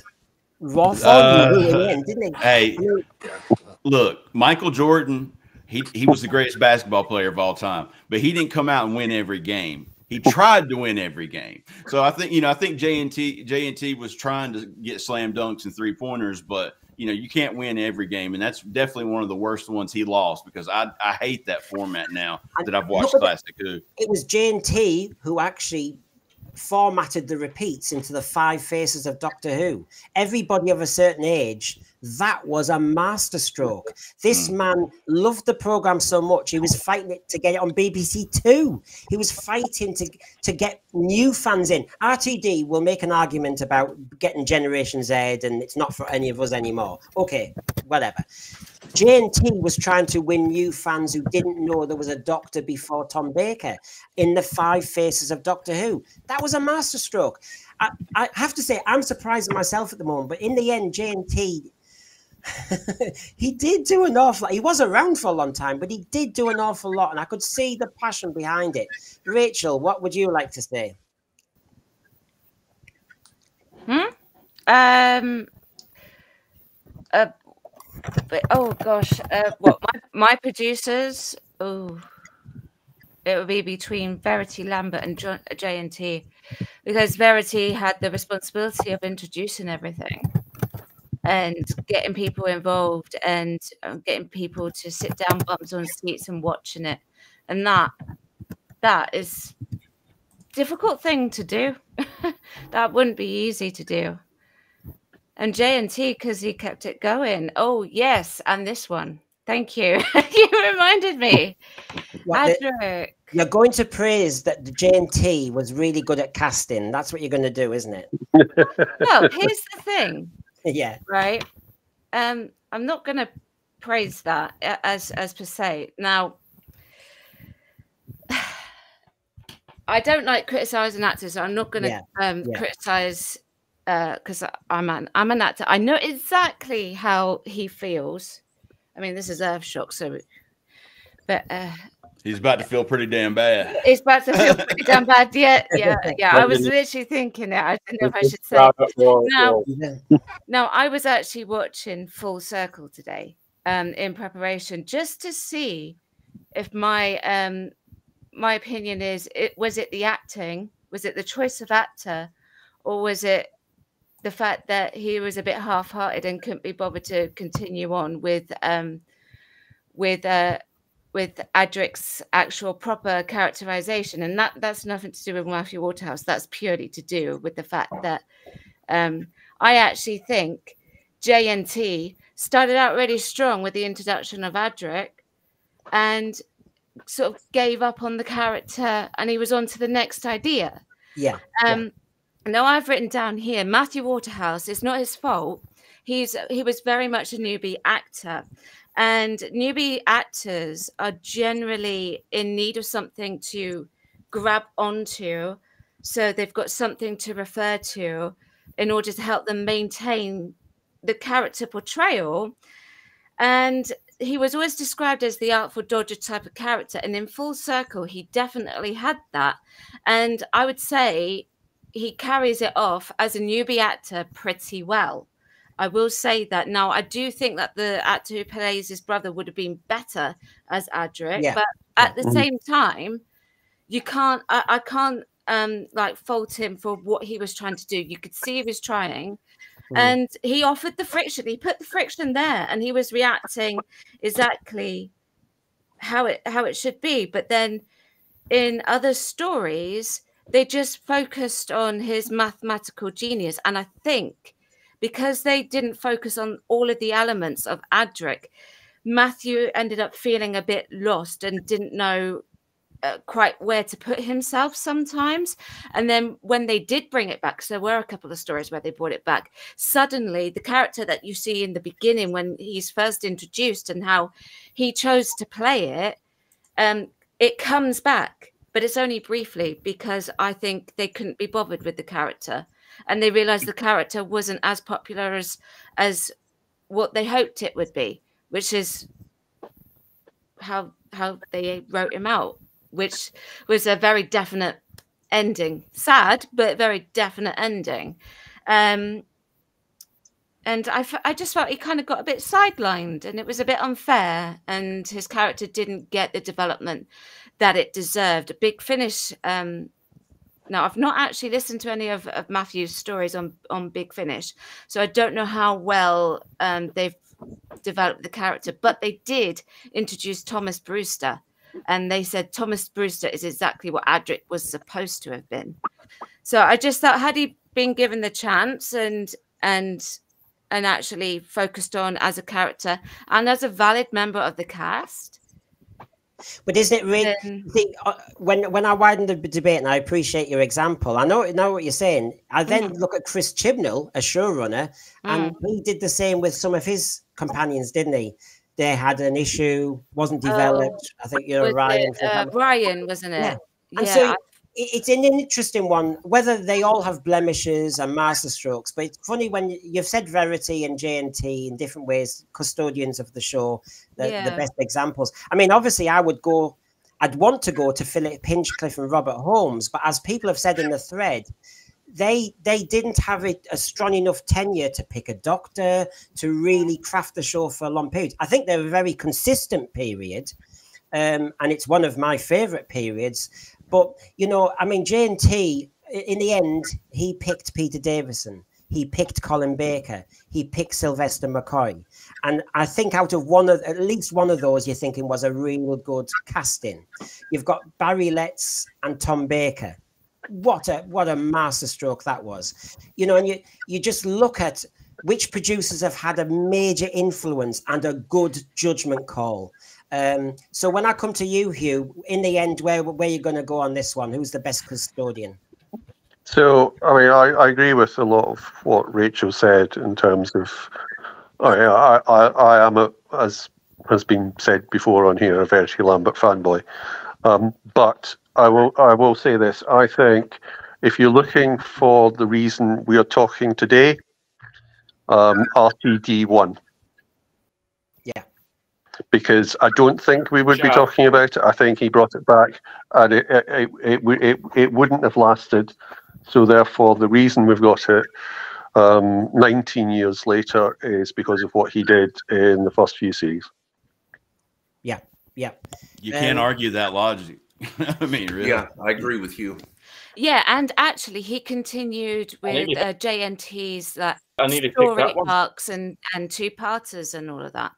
Yeah.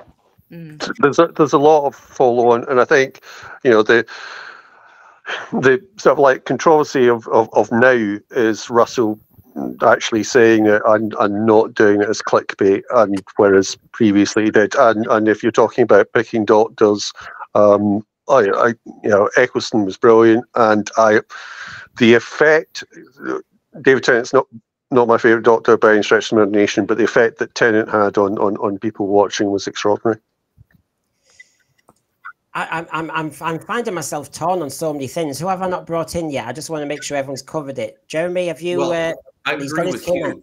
You haven't asked K9 who's his favourite producer. Well, there we go. I, I can have a quick guess. Let me think. It must have been. Um, I mean, well, and definitely because John Nathan Turner brought K9 and Company, uh, tried to make a, you know, a little And series. I think it, it goes with the. Yeah. Yeah, I think so. Yeah. So, timescales. What was your thought on who Well, are you um, rewarding? I, I, I agree with you. Um, I wanted to give a shout out to Dan Hadley in the chat of Type Yep. 40. Howdy, Dan. And thank you. Uh, the Type 40 show was actually the first Doctor Who live panel streaming I ever watched on YouTube. So Likewise, Dan is to fault for getting me addicted to this stuff. thank you. and Dan. me, But and me. um, I, I was going to say Verity Lambert because of the fact that um, when the show was so young and so small and so fragile, um, that if it were not uh, for the fact that she did it right, it may have never even made it past those first couple of years. So I'm going to say Verity Lambert, but I'm kind of surprised myself uh, to be saying this, but I, I agree with what Hugh just said because when Doctor Who was brought back, if it had not done right, then we, we could have lost it. You know, if I, I remember being afraid after learning on, I think Usenet, that Doctor Who really was going to come back, and I couldn't believe it at first. And I remember being afraid uh, of watching Rose that first time. Yeah.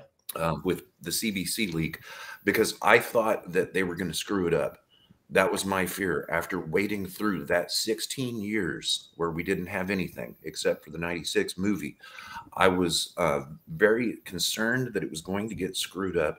And well, guess what? It wasn't screwed up. It was real Doctor Who, and it was back. So um, if I had to pick between the two of them, I'm going to go with uh, what Hugh said, uh, with it being RTD1.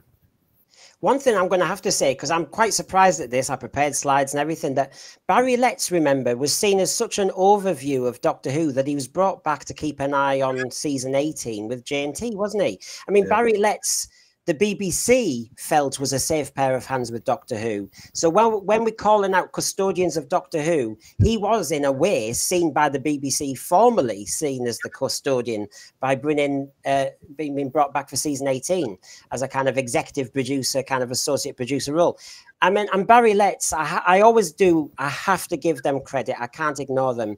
Some of the discussions they had, uh, starting with Terror of the Autons and going through, the master, I said it earlier on, but the master, it's been a character that's been used by everybody. Everybody wants to use the master, whether it's Missy, whether it's Rasputin version. You know, they all are appreciative, surely, of what Barry Letts and Terrance Dicks invented. You needed the Doctor for the longevity of the show to have a Moriarty arch nemesis. I think it's been a spoiled character, and I personally don't want the Master back for ages. And the fact that he's now been turned into a gold tooth and all the rest of it, unbelievable. And it's a spoiler. And this is the other little argument about producer versus showrunner. All the producers I thought were respectful of the master creation. The Deadly Assassin, a burnt out husk. The Keeper of Traken, Anthony Ainley was almost emulating Roger Delgado in physique, looks, and all the rest of it. I thought the producers were respectful of somebody else's creation. I said earlier today, Davros and RTD, not so. And so, you know, when you look at the master creation now, I don't recognize the master now. The master isn't a giggling Gertie. The master isn't a manic, crazed creature. And I, this is where I think the showrunners have just gone off. They've got a toy and they've gone off on it. And so I want to I want to give tribute to Barry Letts and Terrance Dicks because during that period they sat down and they thought about restrictions on Doctor Who. I always loved the Blinovich limitation effect in Day of the Daleks. I loved that kind of detailed thinking, and I just think it's lacking now. I just think it's lacking. Um, does anyone wants to come in before we conclude on this debate before we go into the news? Can I can I just say I've really enjoyed this debate because it's one of those ones where it's it's not about what's it's not about a yes or no question. It's just Right. about getting people's perspectives, and I found it fascinating. and everybody's kind of right, but in their own way. You know what I mean? Like I know exactly. I was sitting here thinking the same thing. Hughes, like this is kind of cool because everybody's pretty much able to justify why it. it what what we've basically discovered is a lot of these people were just an essential component to the survival of, of the show and the success of it. So it has been really fun talking about. It, it, it, it's I said earlier, didn't I? You know, there- there's no right or wrong answer, really. Right, You know, right, There's exactly. pros and cons for both sides. It, it's like the wrong way to do it. It's just you know back in the, at that point, you know, uh, you know, in the classic series, TV and on television was made in a certain way due to the you know limitations of technology at the time, or just the general way of how things were done.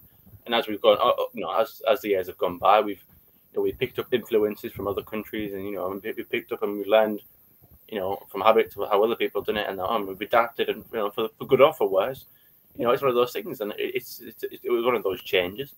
And like I say, it, it's absolutely benefits, pros and cons for, for both arguments, really. And the thread and the thread have got that we've got so many different ideas. I mean, nobody's agreeing. I mean, I know JNT for his tenure, I have to say he's got a lot. But we've gone from Barry Letts, Verity Lambert. Oh, I mean, Philip Hinchcliffe. There's a load getting mentioned, and and in many ways, that's what you'd want as a Doctor Who fan because I'd like to give credit really to everybody who's actually put in on, on Doctor Who. Um, and yes, RTD, I have to say, has done his bit as well. There's some, uh, you know, there's some fun there, and there's some, uh, you know, and he did relaunch Doctor Who very well. Let's be honest, he did. Um, it's just in this present iteration. Now, for those who've joined us in the in, in the thread, we're we're we're, we're reaching an, an interesting interregnum, they'll call it now, right? Which is, I think, um, well, Dan, if he's still with us on from Type 40, has a certain way of putting this, and he's very good at using adverts. We have the Who Pits who went to Spain uh, to actually emulate the two doctors. I call it an excuse for the thread and our panelists maybe to go and uh, refresh before we really hit the big topics out there because I tell you what, I'm dying to hear some of the opinions. I'm dying to hear the thread on, honestly, Millie Gibson, is she in or is she out? Uh, Is she really truly back for good? Peter Davison, don't we all love him? He's actually said his piece, not for the first time, and I love what he said about the bi generation. Jinkx Monsoon, who the hell is she in this series? And of course, we've got our predictions 14th Doctors of Valeyard, Sutekh is back, Ruby Sunday is a Time Lord.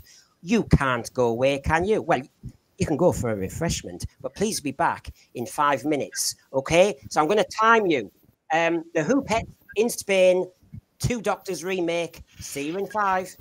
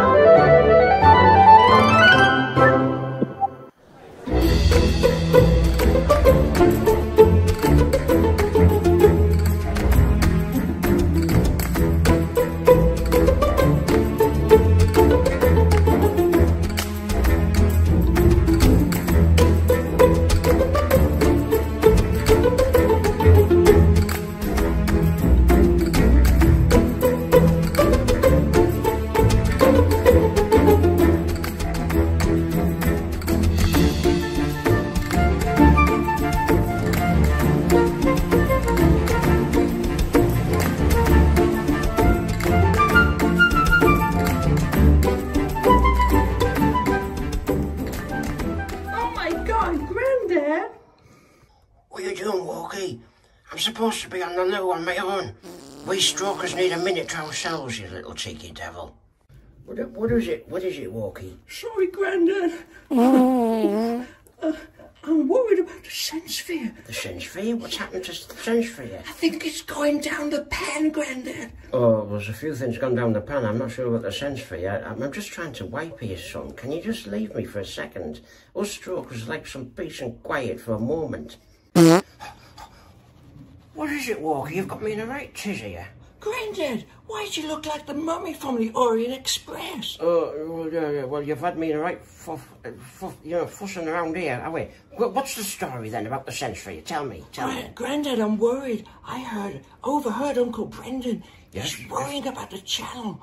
I, What's I, happened? I don't think he can afford it, and it's going down. It's going down the pan. Yeah, the figures and everything, the viewers. We can't lose the sense for you. No. We'll have to come up with a plan. But first, Walkie, I, I think I need to get changed. I can't see, I can't move.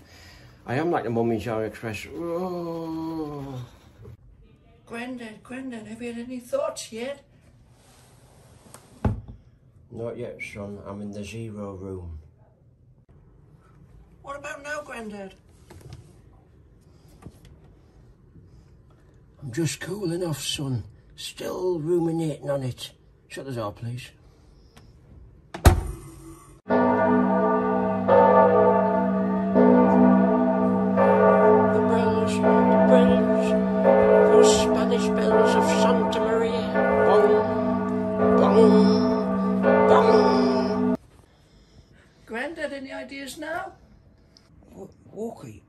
Trying to sleep. I've had a terrible night's sleep. I've been dreaming of bells and stuff.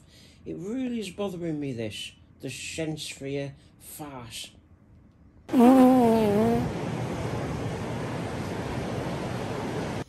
Well, Walkie, I've had a damn good think.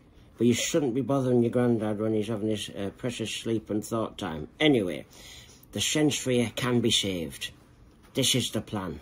We go big budget. Big budget. We're going to have sex. We're going to have drugs. We're going to have violence. Basically, it's going to be like a 1980s Doctor Who. Bit of Resurrection of the Daleks, bit of Caves of Androzani, drugs busts.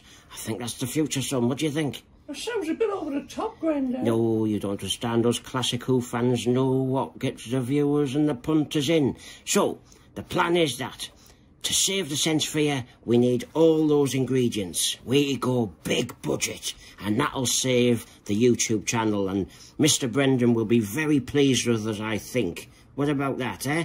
I think we're onto it. Never fear, the sense for you will be here. Oh, it's the bells of Santa Maria.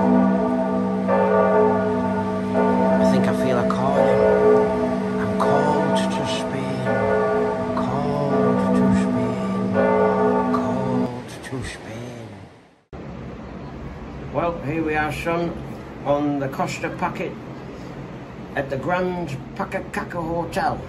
Big budget indeed, I tell you what. I have a feeling to go big budget and violence, we need to do the two doctors. Do you remember the two doctors? I do, Grandad, yeah. Oh, yes. Lots of nasty things happened in that. And those bells did give me an indication we needed to go to Spain. So here we are on the Costa Packet Grand Pacacaca Hotel.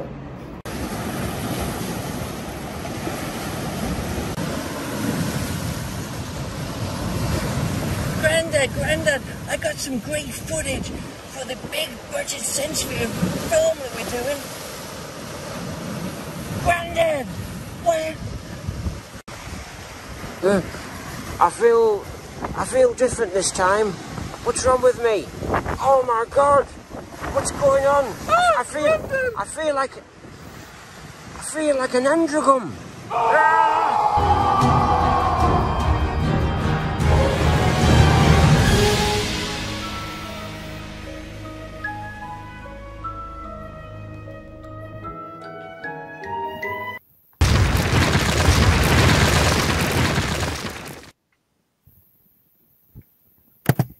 Will they die?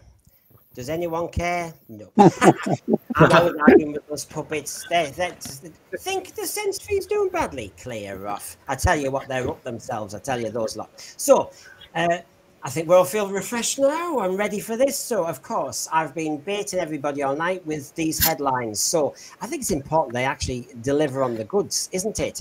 Now, if you like what we're doing, remember, please like and subscribe. You can find us in various places out there. You can find us on X, Instagram, Facebook. We have our own fan community forum.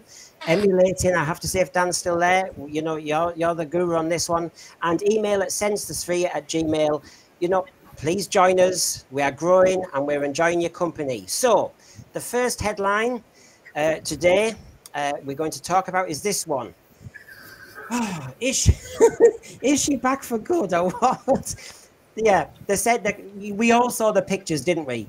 Millie Gibson next to Varada Sethu with the doctor in the middle in the same place at the same time.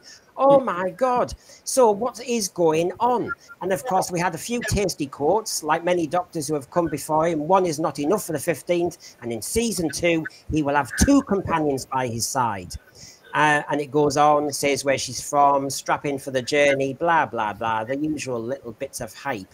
And, you know, RTD trying to not say that he's been, you know, pushed by Disney because a lot of people thought, oh, she's a Dis- she's a Disney kind of deposit.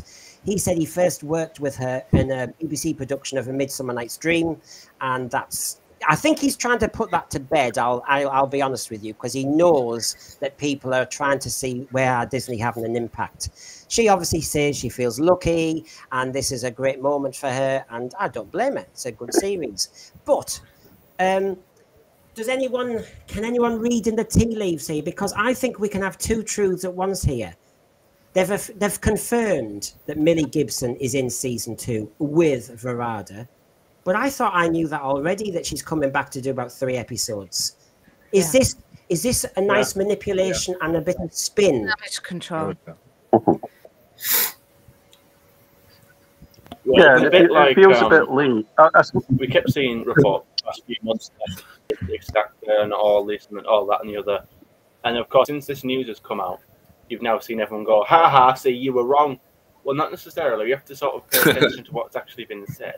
The thing is, can have two companions for season two. Yes, that, that can still be true. But like we also know, Mi- Millie was going to do the first three episodes anyway, and apparently she was going to leave, or whatever that was yeah and then for the rest, maybe Varada could come through. So that would still technically, you know, count as two companions for the season. Um, I can't remember if it says maybe on on the. I can't remember if it's you know in the same. i think that there's going to be some episodes when they're Um, I I just want to clarify some- that obviously that can't happen, but I just I, I keep seeing this whole oh well that oh this proves the fact that she was sacked. We don't necessarily know that she wasn't yet, but um. I mean, she's still going to be in the season, obviously. But I think, like you said, you know, this doesn't mean that she's not going to be leaving show at some point, maybe June this season, whether it was after the third episode or whatever it was. Um, Well, later, know, what does everyone else later in this in later in this later in this discussion, we'll I'll remind people that me and Rachel have discussed about this one, and I'll get let Rachel score the goal. But what does everyone else think of this news? I mean, it looks like it's good news, but I actually wonder whether it's actually any news at all. Um, any thoughts, Hugh? I was very surprised. And, you know, at some point, I thought that they had already filmed the uh, second Ncuti Gatwa season. So when I saw the news that Millie Gibson was only going to be there for uh, one season, I was really confused by that. Um, and it just it makes me wonder. I, it leaves me scratching my head. What in the world happened, and why was there news of her leaving if apparently she hasn't? I don't quite understand how that happened. Now, uh, Rachel and I had talked about this on a previous panel, uh, speculating that uh, maybe she was un- under an NDA, which is why she could not say uh, whether or not she had left the series or not. But uh, how did the news get this so wrong that she was leaving and then all of a sudden she's back? Something, something about that uh, doesn't compute. I found it quite funny in this in this report here. I'll just go big screen for a second because there's two elements where it says while there was no official comment from Millie or Ncuti, the trio already seemed to have a fantastic end. And at the top it says um, they are clearly giddy and excited as they pose with their arms around each other. Wow, that's pathetic reporting. As Jordan has said, uh, body language in those pictures are pulling away as well. Um, if we really want to look at it, I mean, mm, I don't know what to read, but I don't think we've learned anything new. But they're pretending this is new news, so to speak. You? Yeah, I mean, I, I'm, I'm with Cinnamon on this. I'm not particularly sure what we know that's more than, than what we knew before. Um, I, th- I I do worry about the fact that if this was the case and they didn't want the story to be spun the way that it was when Millie Gibson was was sacked or whatever, that they didn't speak out then and say no, she hasn't. Uh, uh, and and even now it doesn't actually say that, but we'll see.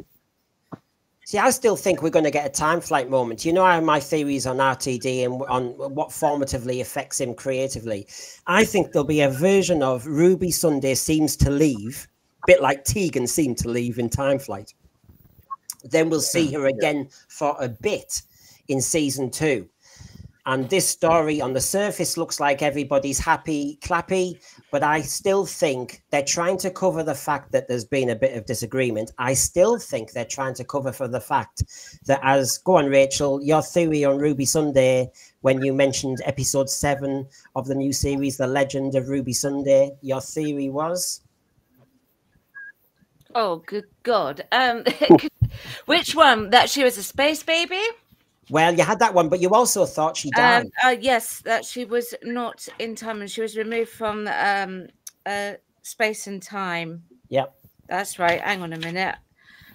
It's in my old notebook, the one that's mixed in it? with all the She's other a- stuff. She's got a special one for sense for you now. But honestly, Rachel, I'll, I'll Oh, just yeah, fill- yeah, yeah, I got it.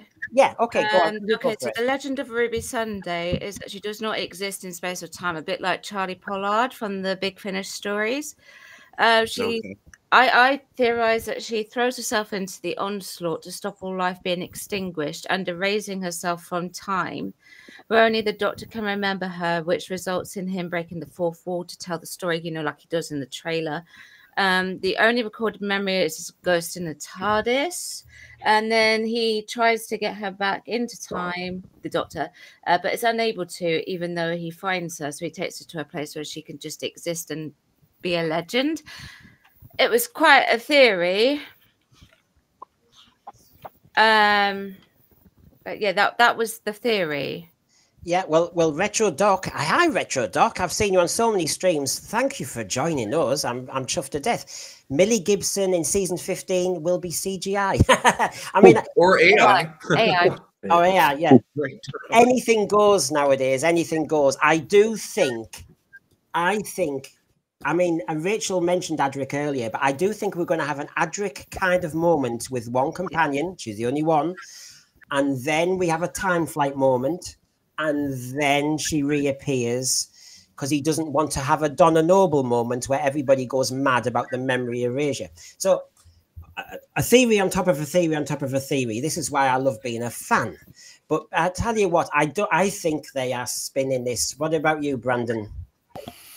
Yeah, something's not right. They they course corrected something, but it's hard to tell what though because so many people are kind of bucking up against a lot of the things that they're doing. Like a lot of the traditional fans aren't very happy with with just the the look of what they're doing, especially after the trailers and everything. So I'm thinking maybe maybe they did fire, maybe they brought her back, maybe it was a swerve or some misinformation. It's just so hard to tell in this internet day and age. You could go 10 different directions, but I was pretty surprised because I didn't know I didn't know she was going to be in the second season. I thought it was kind of silly that they were promoting the doctor hanging out with two companions like it was some novel thing. I didn't really get that. You know, it was like, oh well, I guess so because this is season one of a new show. Shoot me. No, I don't want you know, I don't see it like that. So it, it just didn't make any sense to me why they were saying that to begin with. I think one of the BBC spokespeople actually came out and said this is the first time the Doctor's travelled with two companions. They did. They did. That's what I'm talking about. They, the show before. The, the, yeah, the lady said something along the lines of like ma- making it like this was a big deal, you know. It, and I figured it was going to say something after it, like this is the first time the doctor's been, you know, teamed with a girl of color born on a Wednesday and, and a white lady born on a Tuesday, you know. So this is really Yeah. monumental and you know, stupid. Rachel? Um, I just want to Where did we say, get these people? I would like to say about that article uh, that you just read. That could have actually been done months ago, Yeah. before any of the stuff about uh, Very Millie true. got out. Very good point. Um, because if she has, if if she has been fired, and but she's still under the NDA, she still can't talk about the fact that she's been fired. She can't Yep, talk yep. about it. So it, it could this could have been months ago before that all happened. Yeah. And as Retro Doc is saying, this news strikes him as RTD's spin at Disney's behest to limit bad publicity. and I think we're all tiptoeing down that alleyway. I think.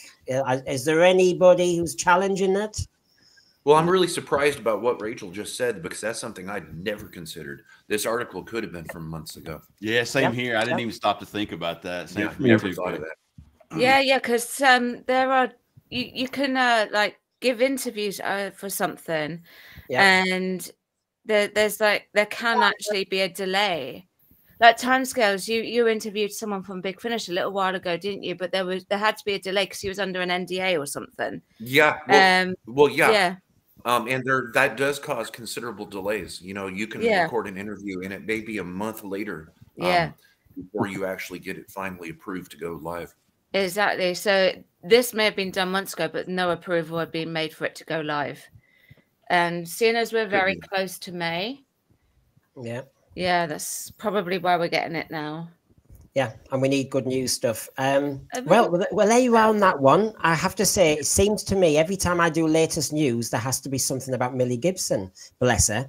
She- honestly, isn't it? It's like she's what's going on. Uh, she's definitely sacked. Oh no, It'd she's back. I mean, what the honestly, magazine says more about this as well. yeah. Well, I, I I mean, I'm losing faith with the Doctor Who magazine. I have to say, it just seems like uh, Yeah, I stopped reading it too. Now I just pick up the collections of the comics when they come out if I want. So this one, I'm really, I, I, I have to say, there's, I don't know if it's the nostalgia. It's also nostalgia mixed with now, um, but I have to say, oh, God love him, and happy birthday to Peter Ah. Davison, who's 73. Yeah. Yeah. Um, oh, oh, don't you just love him? Um, me and Noel were talking, and, and Noel on Noel's show, me and Cinnamon were talking about this the other day. Now, my theory is Peter Davison either thinks, look, he's got his pension sorted out. He's a very, very successful actor. He's on West End. He's on television an awful lot, and he just seems to keep going and going.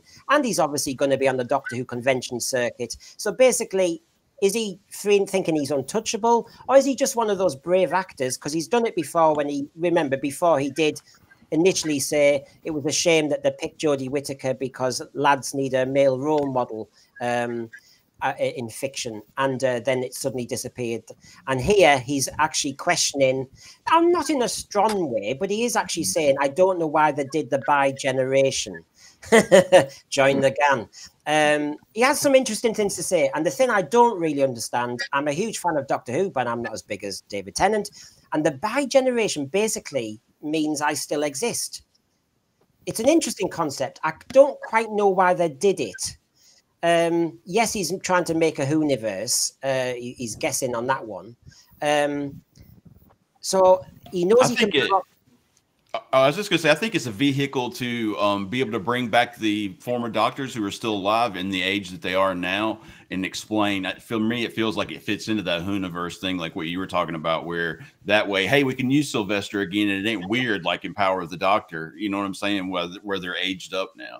That's what I was thinking. Maybe it was one of those weird expansion sort of things. Do you know? But you, I, and I was saying this on on another stream. The, the thing that I actually find problematic about this, as a well, there's the bi-generation, of course, but then as Peter Davison's actually saying here, I don't know why he's done it. If it is as you say, Brandon, because we want a Marvel universe, universe, and all the rest of it. But it's not fair because it doesn't cover it properly. You can't bring William Hartnell back. You can't bring Troughton back. You can't bring Jon Pertwee back. You can't really bring Tom Baker back. So basically, this is like New Who plus the latest one. Uh, in the end, in the end, you do just start to wonder whether was there a motivation behind the bi generation, or was it just a nice little wheeze to, get, to do that binary, binary, binary thing? That's the only Well, because Brent, Brendan, if I can, if I can Yeah. disagree with you on one thing, you said you can't bring William Hartnell back, and no, yes, you can bring. Well, not William Hartnell, but Yeah, you can yeah. bring the first Doctor back. yeah, There's been David three Bradley. actors that have performed that role uh, so far. So I believe that yes, they can be Yeah. brought back. You know, I I don't know who would portray Patrick Troughton uh, properly. His son, David Troughton. Mhm. Yeah, Well, yeah, there you go, there you go, But- Rachel. but good do we point. But he's an older man too. But this is what I mean. It, it- we need to kind of for mention. I mean, Peter Davison is a fan of Doctor Who. He just says not as big as David Tennant, but it, but the point is he doesn't understand it. So he's joining a lot of us, going, "Why did you do it? Is it because you're going to do something with the David Tennant 14th Doctor? news item coming up in a minute, or or is it just a great wheeze to link this binary binary thing? Why have you done it? And it doesn't seem like an equal playing field because you can't really bring every doctor back. So it's going to be, oh, more tenant.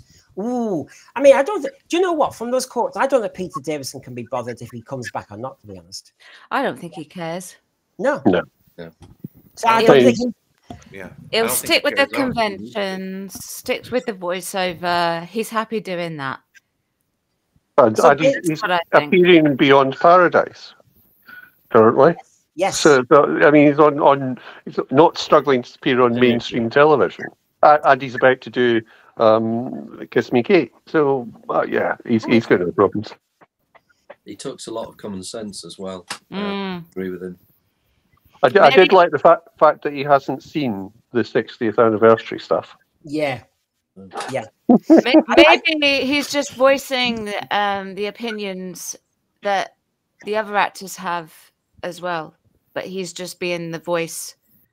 But but Rachel, you're Hmm. the actor on the panel. This Yeah. is what I really think. Peter Davison is mildly questioning something. He's being Yeah. quite polite, really, as his fifth doctor used to be. Do you know what?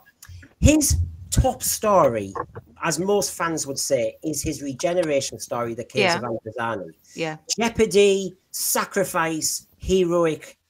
And now the bi-generation takes all that importance away. It destroys his work. It And does. so when so when you look at it, yeah, he's questioning it because he's going, Why have you done that? Apparently I still exist. Apparently my greatest story no longer has any point. I have to say, I think he's been very polite, but I actually think deep He down he's thinking, You've absolutely just wrecked everything. You've wrecked my work. Uh, but I mean, hadn't he already done that by coming back?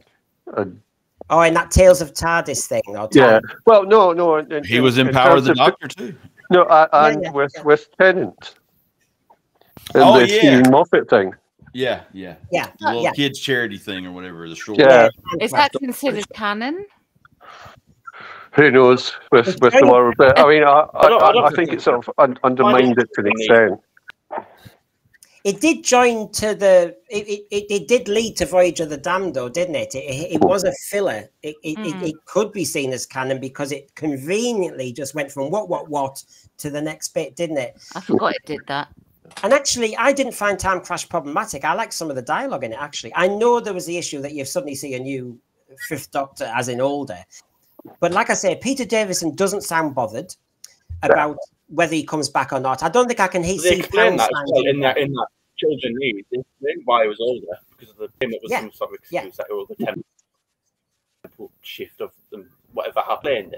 No, and I, I, you know, it worked because you know it, that was just a multi-doctor story. It, it wasn't trying to change any sort of law of why he was there.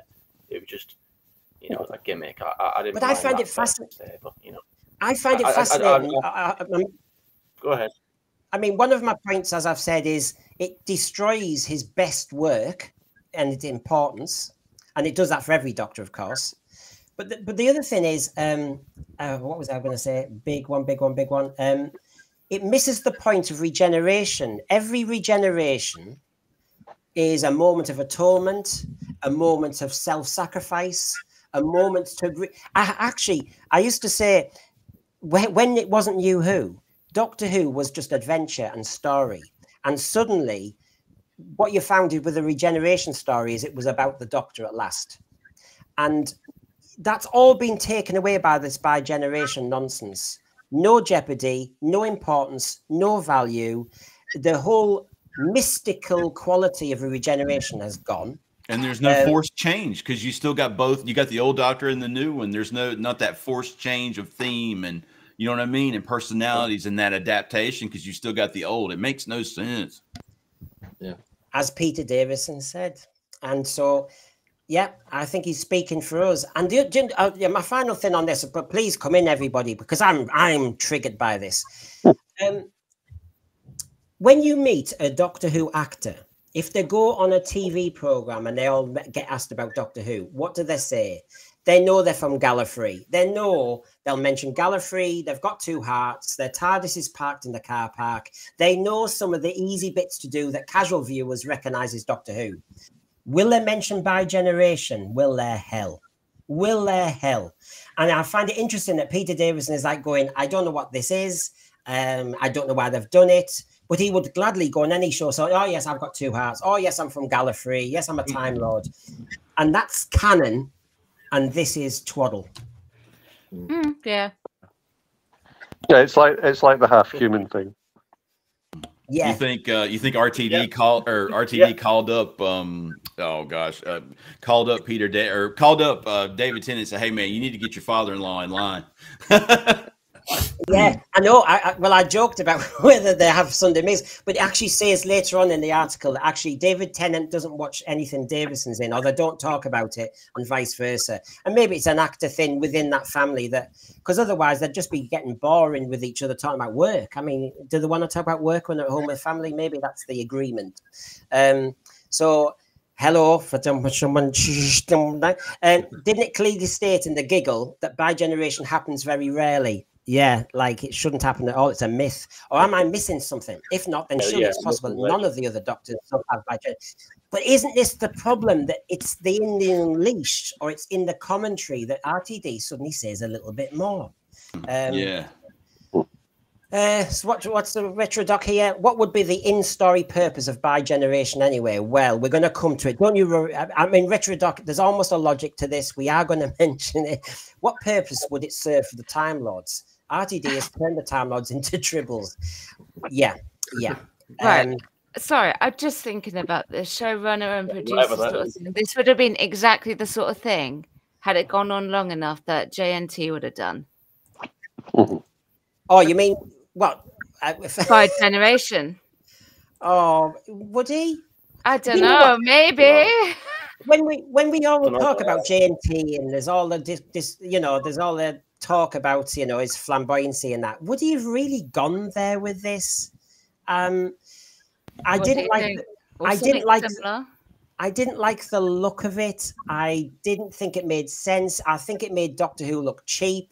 I mean the two companions pulling them apart like like you were operating on two conjoined twins. What the hell was this I, I just don't know what the theory is, although we have one retrodox that stay with us. So has anyone got one final thought on the second piece of news there? I agree, Peter Davison. Happy birthday. Enjoy your 73rd.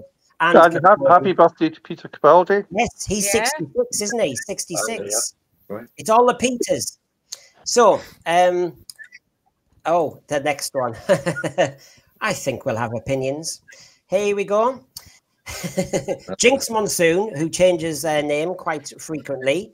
There's the latest spelling somewhere. I've got it up there. Is the maestro. Right. Does that help us? Is the maestro. There was a little bit added to it that Jinkx Monsoon's Doctor uh, character is revealed in the Devil's Chord. As you know, maestro means teacher, but it can also be translated as master, apparently. And this is obviously in our good old Beatles episode. Um, and as for, and, and then we were told some great news that you know Jinkx came all the way from Broadway, being in Chicago, straight on the plane and straight into the role of the maestro, and seemed to enjoy the role quite. You know, it's a performance and a half. She absolutely blew us away. Well, of course, RTD would say that. It was so cool to see her transfer her skill set to the show. She fits Doctor Who so well. Well, yeah, it's what type of Doctor Who are we talking about? And I'm just I'm just putting out there. So she she's the maestro. Come on then. What does that mean? What's our theories on it? Well, I actually learned this on Rachel's YouTube channel. Now, the last time we talked about this last week, I had not seen the news story. So when I saw the title card uh, for today's chat, I, it where it said "Who is the maestro," that was a really good question for me because I had no idea who the maestro was. Now I've since read the news story. Um, I watched Rachel's excellent breakdown, and Yes. I'm happy to see Jinkx Monsoon um, is going to be on Doctor Who. I'm really happy to see another successful American actor that actually gets to go down in history on Doctor Who. And Jinkx Monsoon is American. Uh, she was born in Oregon. She trained in Seattle. And I'm really looking forward to this episode with her in it. And for anybody that doesn't know about her career, just check her out on Wikipedia. Now, um, I had a theory when I realized uh, that maestro means mastro, um, which goes back to the the piano design in the costume because it made me think of back when the TARDIS was a piano. Well, I was totally wrong. It, it was a pipe organ and that was a Cybermen episode uh, back in the Colin Baker era. So I thought that Jinkx, I immediately thought that Jinkx Monsoon was going to be uh, the master. You know, somebody has the gold tooth, so the master is still out there somewhere. But since I think that there's way too many indications pointing towards Jinkx Monsoon being the master to just completely throw us off. And while I initially thought that she was going to be the master, I think that when this episode airs, we're going to find out that she's not. No, I, Yeah, I, red I, yeah, hundred percent is not the master. Now, Jeremy, I do want to, Jeremy, I know. Thank you, John Yulden. Um, it's an alternative universe Turlo. Uh, Retro Doc is trying to work it out. Obviously, with uh, if if because some people do think it's Jinkx Monsoon's Maestro character has picked up the Master Tooth at the end of the giggle, then obviously it can't be the Master. Um, Jeremy. Are you are you excited by the Maestro and what she is? No, not really. There, there you are, Ray. I, I, either it'll be a very good episode, a classic episode, or it'll be like a, a very long trip down a long winding road. what what are your tea leaves telling you? Um, uh, well, tea leaves in my tea bag uh, are not telling me anything. But but my feeling of it is is it, she just re- uh, reminds me of a, a 1960s villain out of Batman. Um, Yeah. it, it, Yeah. it feels very much kind of comic book type uh, of a story What but she um, it might be very good it might, I, m- I might be completely wrong and i might i might like it but um I, I hopefully that jinkx monsoon is not going to play the master um and that's that's my opinion on it though Yeah, I mean, this is a location shot uh, from actually the Devil's Chord, so it, it gives you a little bit more about the character. We actually see the full costume here, um, and you can see. Um, I think it is right to say. I think it's going to be. It is a performance and a half. It looks like a performance and a half. Whether that is what they want, because obviously we don't know. We're just guessing. And I, like I say, I'm not saying anything about having a drag queen in it at all. Actually, and what I'm saying is, I don't know if the characterization, as I'm seeing it, is what I want from Doctor Who. I still get those late 1980s vibes of Panto, of Ken Dodd, that kind of thing. Now, I hope I'm wrong. I want to be wrong. I want to love Doctor Who, but that looks like Disney characters. That Ursula. That looks like Cruella de Vil. Some say it's a version of Bette Midler. You know, it, it. I don't know. I don't know. I, I, I the the maestro thing is interesting because it is so obvious that you know you go it can't be because it's too obvious. In which case you then go maybe it is because it's too obvious that they would do some they'd have to do something else. Um, I yeah, I mean I I'm, I'm I, I ended up trying to work out whether because Carey Mulligan appears married to Leonard Bernstein in the film Maestro, whether there's any connection there. But that's what you end up doing in these things. You go around in circles and go a bit mad. You can. I mean, we all know this seems to be the musical episode, and you see the Doctor in one of the trailers singing. You see them all dancing in the recording studio. Yeah, that's Obviously- inside the actual recording part of Abbey there. Because look, you can see McCartney's bass in the background. Yes, yes, and and and you you, you do see. Oh, come back to that. You do see. um I've got it somewhere. Ba. I'll come back to it. I, where you've got a shot of the Beatles, but you've got the Doctor singing and dancing. You've got lots of people singing and dancing. As timescales is as said, and it says in the article that Jinkx Monsoon's just come from Broadway singing and dancing. So this does seem to be the slam dunk musical episode and obviously it's about the beatles so therefore it kind of fits um it's just is it going to therefore because as rachel said i don't know where and what stream but we when i asked you as an actor about musicals which you, you have a musical theatre background don't you Yeah, I do. Um, it's my degree. and as I as I said as I said to you, my theory on that is it's more of a heightened acting, isn't it? Yeah, like when you get to a certain point in time within the show, you can't find the words to continue. So then it breaks into song, and it's the song that does the storytelling for you. that's essentially the the the purpose of having the song there. Some songs, though, serve a different purpose, and that could be because there's something going on that they need to change behind the behind the set, and they're generally quite a, a you know entertaining, but not always a um serving to a plot. So it could just be quote unquote a filler. I, you know, it's not the best way of putting it, but um uh, Avenue Q is a good example. Um, I'm not wearing underwear today. I am, but you know, the song is I'm not wearing underwear Yeah. today. And he just uh Brian, the character, just randomly comes on, sings this like two minute song. It's really short, it's really random, and then the set and then um his wife yells at him, get off or get a job or something, and then suddenly the set changes. The set's completely different. So it was it was a filler. So they they all serve a different purpose, but the main purpose is to tell the story. Now, now, Rachel, you've said this to me before on a previous stream, but help Melanie Weston out. She's asked, there is a devil called Right. Her character has something to do with it. And you've Yeah. obviously looked into this, haven't you? Yeah, there is a devil's chord. Uh, it's it's one. Um, it's a it's a tritone. You can play it on the guitar, but I'm pretty sure you can um, play it on the piano as well. It's known as the devil's moniker. I think Monica. Have I got that right? Hang on a minute. Let me I'll check. I've pronounced that correctly. Um, I never know. Let me just check. Uh, sorry, musica. Sorry, musica. I knew I knew I got that wrong.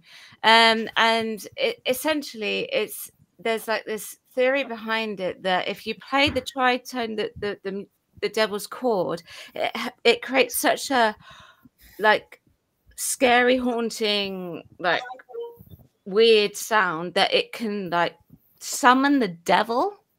Hmm. That's what they used to believe that it could it could do that.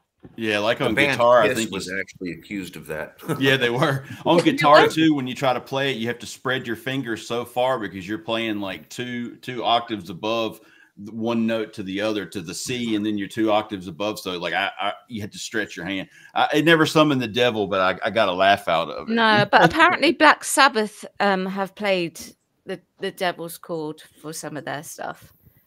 I don't know if that's true, but Now, when I come to the other item, I'll say what my theory is if you haven't seen one of our earlier shows. But um, I, I do think Jinkx Monsoon's Maestro fits into something else, and it's nothing to do with the Master at all. yeah, Um, I don't Is it think a it's- sarcophagus, Brandon?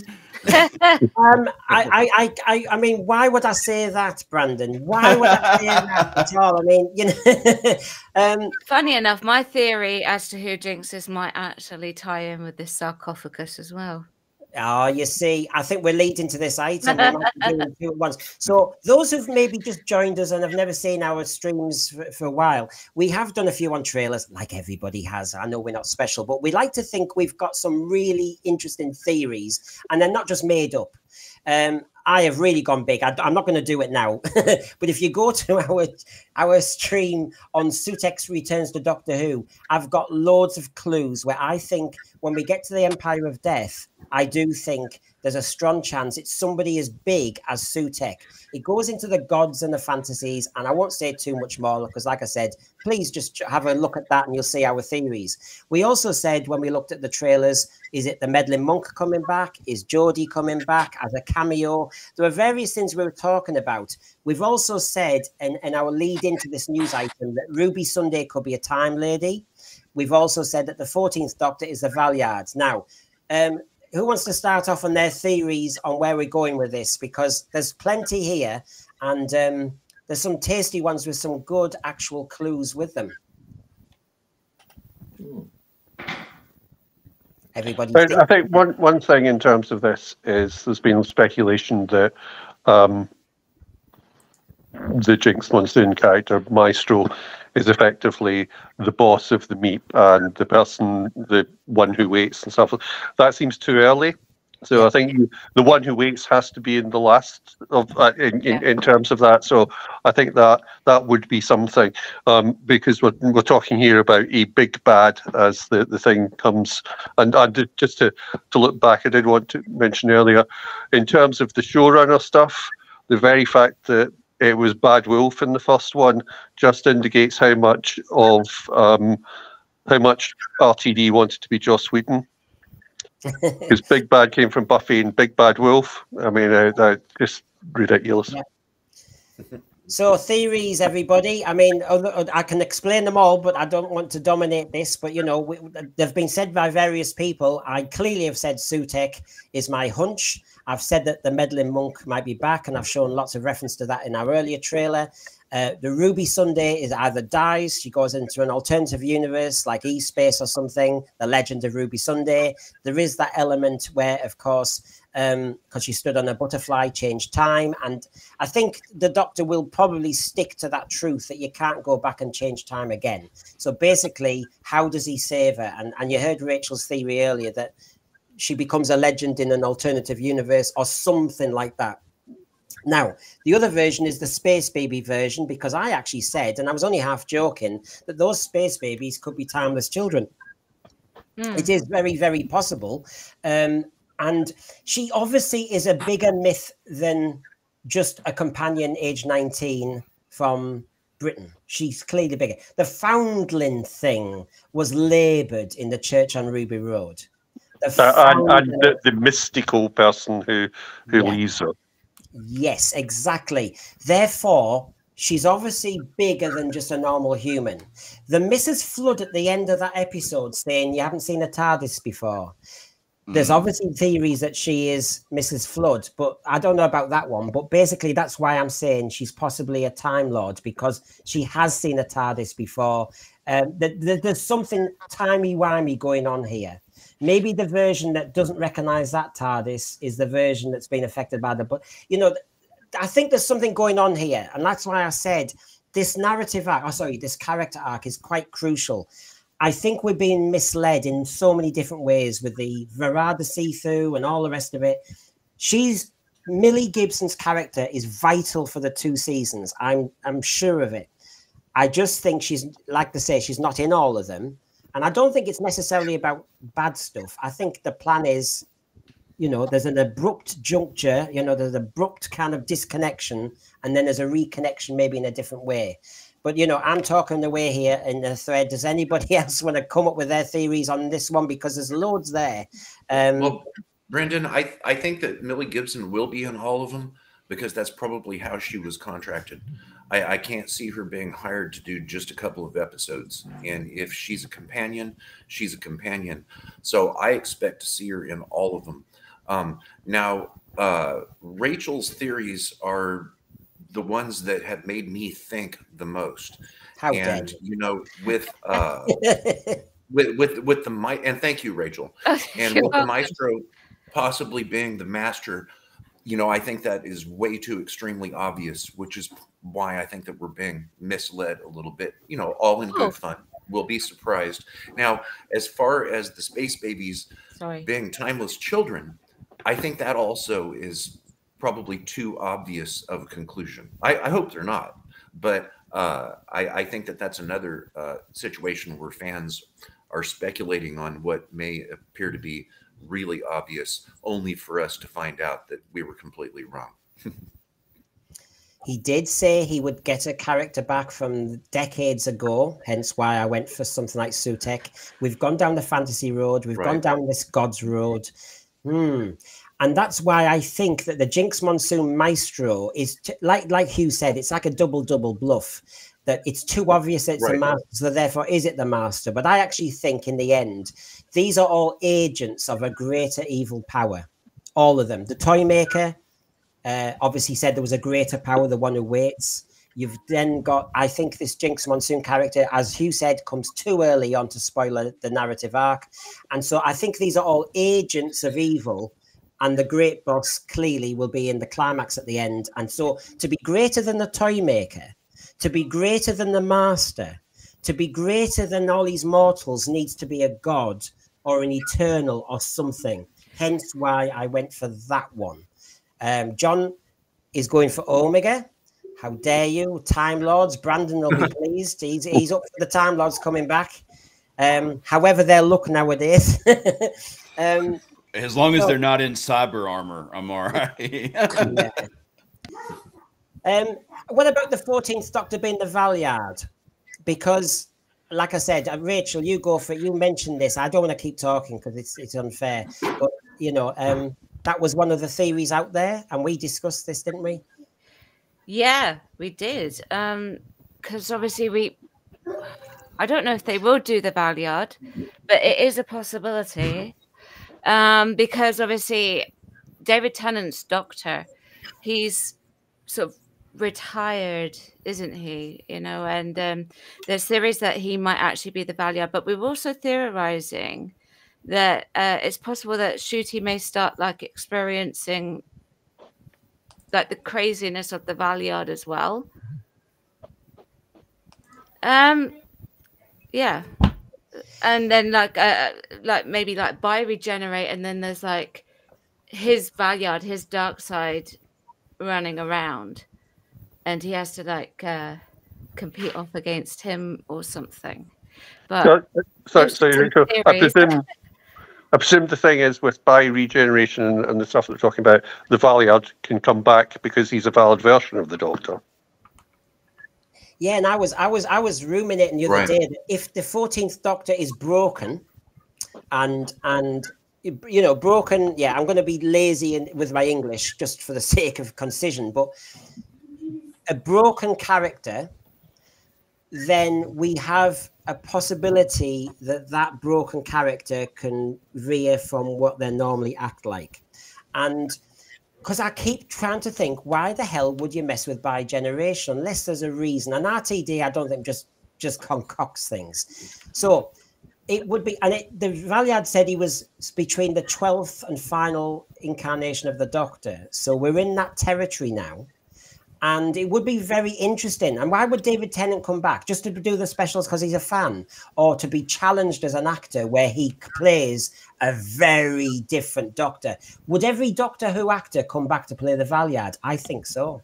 Mm. God, uh, put Capaldi would be so awesome. Imagine him being evil and those eyebrows, and they could just say, "Hey, man, we're gonna let you take this because you're a fan too. You know what to do with it." You know what I'm saying? Like, I would, I would love for him to be the Valeyard. That would be so cool.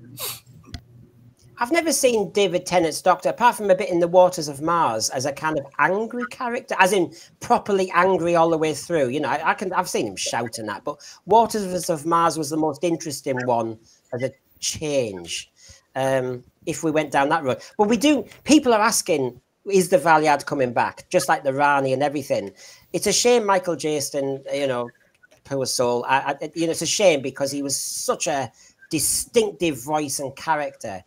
But would they bring somebody like the Valeyard back? But the door is open with a broken doctor. I, I, I just I can't. I personally just can't see it. It's like you said there. It's it was between the twelfth and the final Mm. in regeneration, and, we've and we've passed that. We we passed that years ago. Um, I, I'm just trying to stick with the rules. Um, but then again, it's Doctor Yeah. Who. They're always changing their own rules, I suppose. Um, well, definitely recently. Um, that, that's how I'm sticking with it. You know, that, that final incarnation was between Tennant and, and Smith. That was where it was, and and getting good off their rules. You know, we passed that, but I mean, never say never, I suppose. But I, I'm just trying. You know, I'll play it by their rules, and It's just that I, RT, I think out of all of them, the Sutekh really sticks the most. To be honest, I will. yeah, I I, will I, I think I think I should have actually uh, put a proper bet on that. Uh, but but on the Valeyard one, I'm just thinking creatively. If I was a writer, if I was an actor, and I, I I really do think there's some credit in doing that because you know RTD learned from what he did to Donna Noble. He learned what he did to Harriet Jones. He learned that actually that when you saw that prime minister humiliated by what he did at the end of um, the Christmas invasion, um, he then you know made her a better character in the end. He also realized that the Donna Noble memory erasure we all hated. And so I think he wanted to jump at the chance to kind of settle that. I can't imagine why would RTD want to make the David Tennant popular doctor look like that, you know, doing the weeds. And I can't imagine that's how he wants it to look. There must be another reason. Um, what about uh this? Uh, it might not work actually. Now that I think about it, but what about the Guardians? Yeah.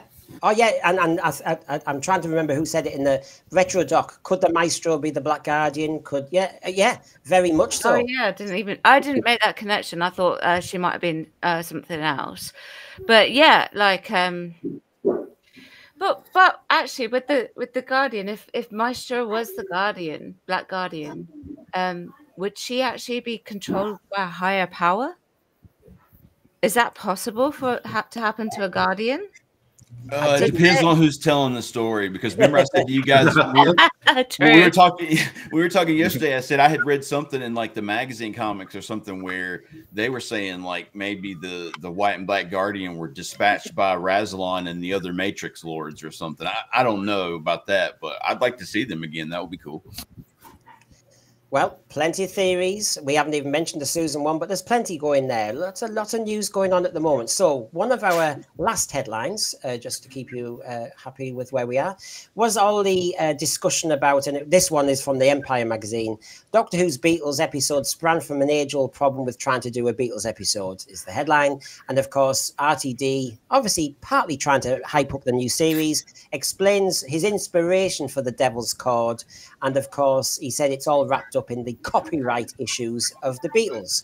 And so he says, you know, um, the notion of doing a Beatles episode has always hit uh, a certain stumbling block, but that in itself became a source of inspiration.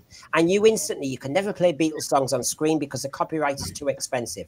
So I'm thinking, how do you do a Beatles episode without Beatles music? And then it becomes the entire plot. That's where the idea came from. It's all about copyright law. Um, and it came from a conversation that proved to Davies that the legacy of the Beatles still has meaning to younger generations because he was talking to somebody, da da da da da. So I don't want to kind of just read at people. I don't like doing that. But basically, time scales. You have theories. You have yeah. Well, yeah, yeah. Um, the this is the first time I've seen that article. I, I was aware that it existed, but I, I had not actually read that yet. And when it comes down to it, this has already been done before. It's been done successfully by Big Finish. Um, there is no reason to actually have to have the original studio recordings of the Beatles to make a Doctor Who story. And I have an example. Um, Big Finish number 178, 1963, Fanfare for the Common Men. This right here was written by Eddie Robson, who is one of the most talented Doctor Who writers ever. If you're not sure who Eddie Robson is, um, check him out, wiki him, go to Big Finish, type in his name, and you're going to see a huge amount of works in Doctor Who. Now, this particular story, Fanfare for the Common Men, um, this came out in September of 2013, um, uh, which was one of Big Finish's contributions to the 50th anniversary of Doctor Who. There were several other stories to go along with these. Um, this right here is one of the highest rated Big Finish stories by all of the ratings and reviews on the timescales at least. And I have listened to this three times. Uh, once I, I listened to, to most of it last week because I was really curious ab- about this very topic. How in the world can you have a Doctor Who story about the Beatles without Beatles music? Well, in this case right here, we would have to thank Howard Carter. Um, Howard Carter, and we're looking at the uh, the the uh, cover to the left here, fanfare for the common men. Howard Carter um, has also done a tremendous amount of audio work uh, for Big Finish, and uh, he did both the music and the sound design for this. And when listening to it, it's extremely enjoyable because some of the music, in my opinion, might actually be superior to that of Beatles songs. And with with the Beatles, there have been tons of cover bands over the years that actually performed live. And a lot of these cover bands will create original new pieces that were not written or ever performed by the Beatles. And for someone attending a concert of a cover band, you might you might never know. Um, so Doctor Who stories absolutely can be made without original Beatles music. Now, if you look over to the right, introducing the Rutles, okay, th- this was a joke on X yesterday, uh, thanks to the talented British author Angie, Andy Lane. And there's actually a joke inside of his joke, and let me let me explain that. Um, the Rutles are actually a parody band of the Beatles. Um, their their their songs may they could possibly be considered as covers, um, but they're also parodies. Now, if you look at, at the upcoming uh, Doctor Who episode, The Devil's Chord, since the actual Beatles are not in it, in a way, the episode is going to be a parody of the Beatles. So, therefore, it would be better to have music which is also a parody of the Beatles instead of the original recordings.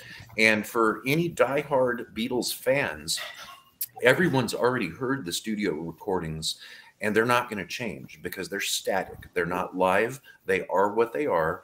And do we really need to hear an original Beatles studio recording in a Doctor Who episode when there can be other newer, more creative music put in its place, such as parodies or covers? So the answer may be a little bit uh, uh, complex there, but the original Beatles recordings, the copyrights, and all of the costs that may be involved are absolutely unnecessary because it's been done before successfully. Thank you for that. I mean, I, am not big on Big Finish, so I, I, am lost when it comes to that. And obviously, your reference to the joke that came around uh, yesterday. So, uh, I thank you for that because I was none the wiser at the time. Um, so, are you? I did you see the point about the showrunner versus producer debate we had earlier, and I was saying sometimes the producers had tight budgets, etc., etc. They had to move to Pebble Mill. They had constraints, and actually, actually, our showrunner RTD is saying this constraint of copyright law he's actually been inspired by. I'm all for that. I'm all for that. Jeremy. Well, I I thought that they had a really big budget. So, oh yes, but uh, copyright. but but but uh, you know, the real challenge is actually to have a Beatles track, even if you only have a, a, a short uh, snatch of a Beatles track.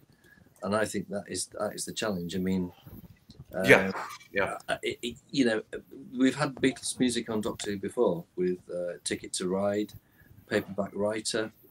Um, I know that in um, the audios they've had to edit some of it out, or they've had to pay up yeah. And and there's there's no excuse really for BBC to say, well, we can't afford it. You know, um, I think it it detracts from the story because people are going to say, well, where's the Beatles music in all this? Even if you had some sort of generic music, Beatles music, from George Martin, for instance, uh, which which you could have. Um, but I mean, in, in, this day and age now, it, it's kind of like you know they should come up with a special deal with EMI whoever owns the rights to Beatles music. To I looked it up yesterday, Jeremy, on when we were doing Culture Council. I believe Sony owns it now. And you know, do you, do, would you say is there any chance that maybe they're swerving us, and you know, maybe there will be a snippet of a song, you know, in there somewhere? I wonder if, if maybe there. I mean, I, could, I don't. Could very well be. Yeah. Uh, okay, so to add to that, um, I was just looking at oh, just to get some sort of idea as to perhaps what it it would actually be. And according to the Telegraph, yesterday the the Beatles film, in order to get some of the copyright, they paid 10 million. 10 what? million 10 million dollars according to that and that was 26 million uh, their production cost was 26 million dollars that's nothing mickey spends 10 million on liquor he could, he could, you know what I'm saying? True, true. he spends 15 million on beer. He could, he can afford the 10 million to help out the BBC. Easy. Yeah, and then I was looking at something else, and um, how Michael Jackson bought the publishing rights to the Beatles. It was an excess of one billion dollars and that was as of 2020. so maybe the Devil's Chord is they play one note of a Beatles song because that's all they can afford. it just in terms of, of, of having something where you're looking at what happens to Beatles music, then obviously there was the film Yesterday. Yes. Um, yes. Which where the Beatles music's had to be reinvented, but they still played some of the stuff. And I don't think that was big budget. True. True. Mm. No. Uh-uh. Oh, so well, as far as the budget, there's also also, there's also job when we a license for use fee. like Shakespeare as well. Episode about Shakespeare, and it wasn't about a particular play he did. It was more about the lawyer that never happened. Uh, it was based off a real thing. And again, with the Agatha Christie thing, you know, the fact that she went missing and Gareth Robertson have exploited that and thought, oh, I'll use that in my script. So you know, and I can see that about, about this, and it seems like Russell's done that. It's I, I, am not sure if it, uh, Greg, you said there, man, Beatles might not actually be in it. I thought they were. Um, so I'm not quite sure now, but um, they are in yeah. So you could either way, you could still have the Beatles in it, and you could, you could say like this, you know, maestro going around or whatever, or, you know, exploit that and delve into that a little bit, you know, a music going missing, historical story, isn't it? So you can do well. Be fairly limited Yeah. with, with, with what you The, do. the thing, the thing that You sort know, of it- it- disappoints it- me about this, it, the thing that sort of disappoints me about it is that it really should be the Rolling Stones, so as they could have Goodbye Ruby Tuesday and go. Actually, Sunday walks better. yeah. yes, I know. There's puns there, aren't there? Oh, it's a shame. So look, I'd, I'd sympathy for the devil. Surely that that's something you wanted. Then. oh well, we've already had. I've got the devil in Oh, me. be here That was tonight. one of the. and, and I, well, no, I, I must admit, I, we were saying the other day, weren't we, about um, he does like to bring music back. And so you wonder what music he is. God, you know, we've got Spice Up Your Life with the Toy Maker, which I never would have joined together. Um, we had Rasputin with the Master. Well, yes, I can see that lump. I never thought I'd have Boney M with the Master. Though. I never thought I was going to get that. So yes, who knows, as they all say. Can I just say that um, they did play uh, David Bowie music David Bowie, right? Yes. for for the trailer. That's right. That's right. So they must Yeah. have had to pay some copyright fee for that in itself. Yeah. Oh, yeah. Well, and the, sure here's the thing big about the trailer. The trailer is something that is used temporarily, and there will be no use for. In fact, it won't even make it to DVDs. So they could uh, do a one-time license to use the David Bowie music without any concern for physical media in the future. Yeah. Now, as far as licensing the Beatles songs, if they were to be broadcast on television uh, when this episode comes out, I wouldn't be surprised if there was a snippet of actual, real, original Beatles music in the background. But these episodes are going to be available on uh, physical media uh, probably shortly after their broadcast. And in the past, they have had to change the music that was used for the rights for use for perpetual physical Oh, media. So I think that's where it differs with the use of the David Bowie music. would I think that was a one-time license thing, as opposed to being something perpetual it would be of the Beatles property. It would be amazing when you think of the chase in the 60s. Doctor Who, Dalek Mania, it was a classic 60s moment. The Daleks are down there as a 60s icon, and Doctor Who riding on that. I think there was an element of that. Then you've got the Beatles, and when you've got in the chase, that weaving of two British icons together, pop culture icons. And, you know, yes, I would love to get the Beatles back in Doctor Who. I know the characters are there, but a bit of music and Doctor Who, you'd think, yeah, we're hot to trot. This is when Doctor Who's flying. Um, because, yeah, I can get it. I wasn't around in the 60s when they did that, but I can see how Doctor Who's riding high, the Daleks are riding high, the Beatles are riding high, and they dovetail for a lovely little moment in Doctor Who. I, I'd love to have that again. we might get a Ringo or Paul cameo. I guess there's always the chance. You know, it's possible Well, if they're still alive. Is it Ringo in that drum? You know the drum with the face that's banging around. I I, I do wonder about that one. But I mean, you may get, you know, they may say, hey, since we weren't, since they wouldn't let us do it the first time, it might be a funny, cheeky, probably is what you guys would say, thing to show up for just a couple seconds for a cameo. Right, so bit of Marmite before we all go home, go to bed, or if you're in America, I don't know what time of day you are now, but I don't know. So It's almost Um, five in the afternoon. is it- Yeah, it's almost two o'clock in? California. now, just like Millie Gibson coming up every week, this piece of merchandise ei- either delayed or it's reviewed or whatever. So I'm not going to milk it again, but it's funny when I watch streams, everybody sees it as Marmite. I actually am looking forward to this, and I think, you know, it's got enough on it. I like what they've done with it. It's uh, by the way, if nobody knows, it's the 10th of June. At last, we're going to get it. So seeing this artwork at last, you just start to see. Yeah, I always go too far with my buttons. I get excited. So basically, I mean, I think the surreal quality of the illustrations really will work for the Celestial Toy Maker. And I understand there's a lot of argument out there about the animations. I get it, and it's not as simple as me just saying one way or the other. Um, because I've argued in the past that I'd like them to be a house style.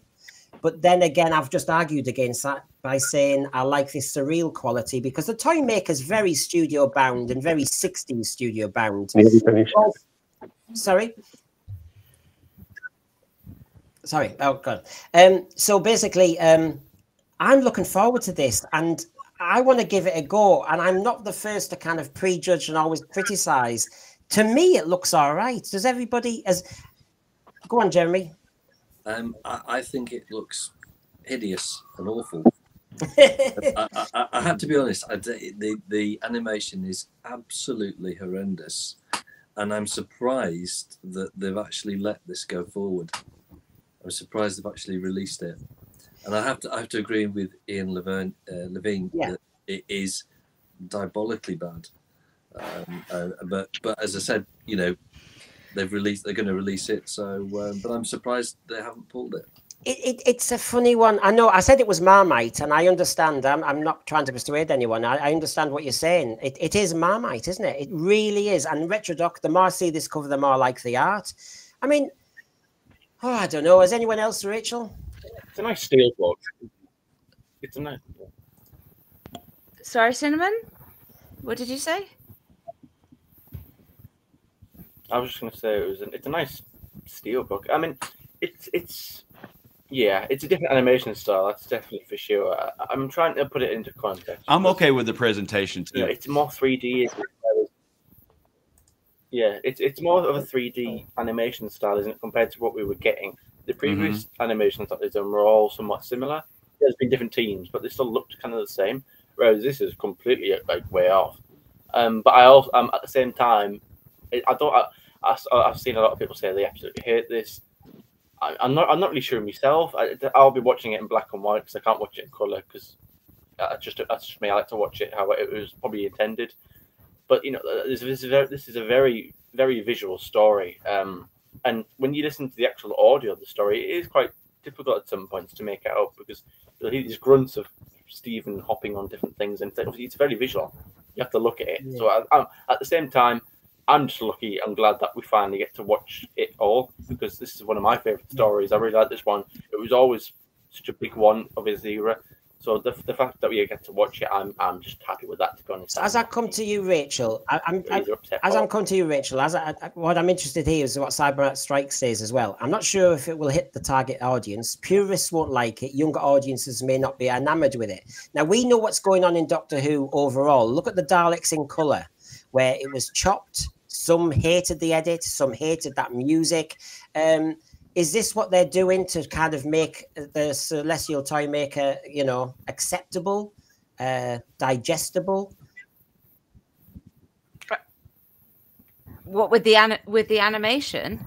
Yeah, because it- is this like a. Daleks in color element here, where they're just trying to make it, as as Cybermat Strike said, that they they're not going to please the purists, but you No. know, are they trying to get the younger audiences by doing something like this?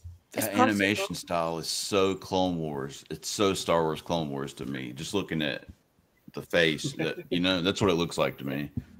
Yeah, It's terrible. They they can't strive away from the old, you know, old stuff.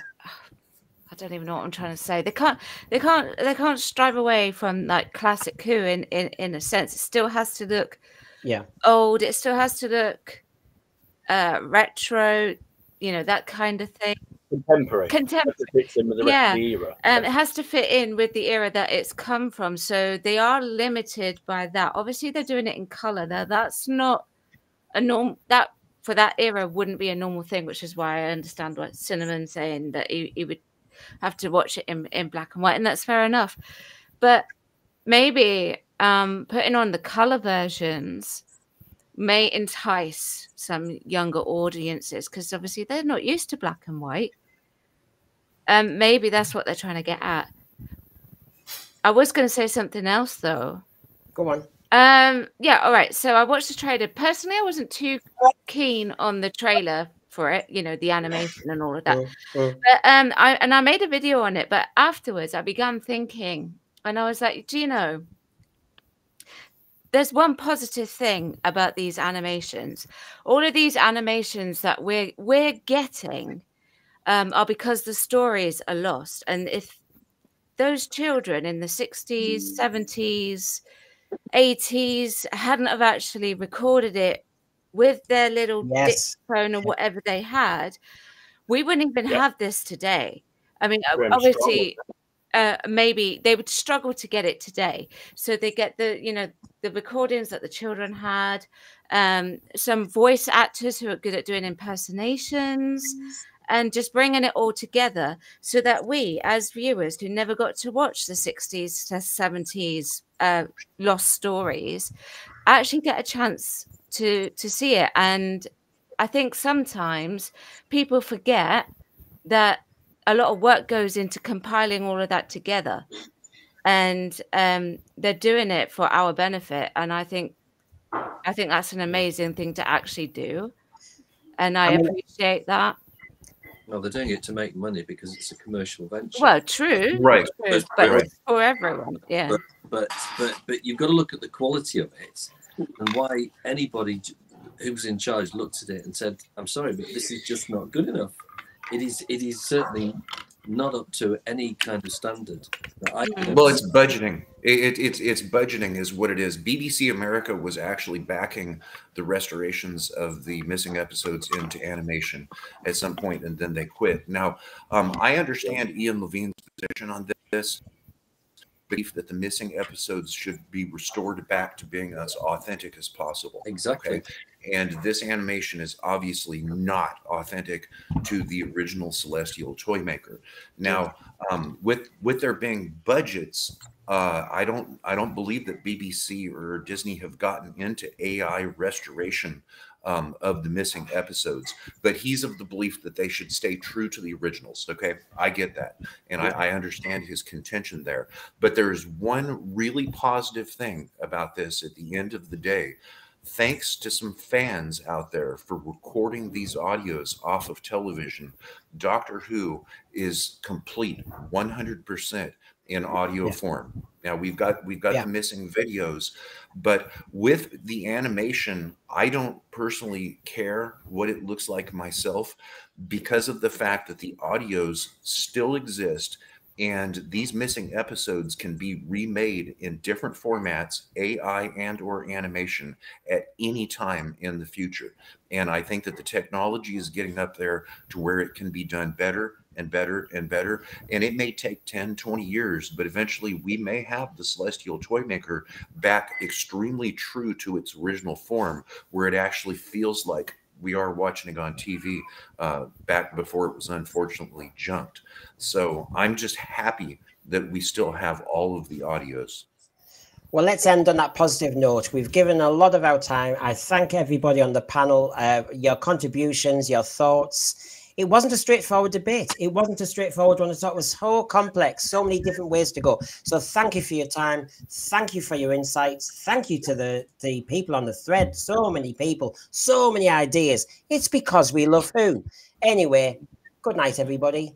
Bye. Good night, everyone. Bye.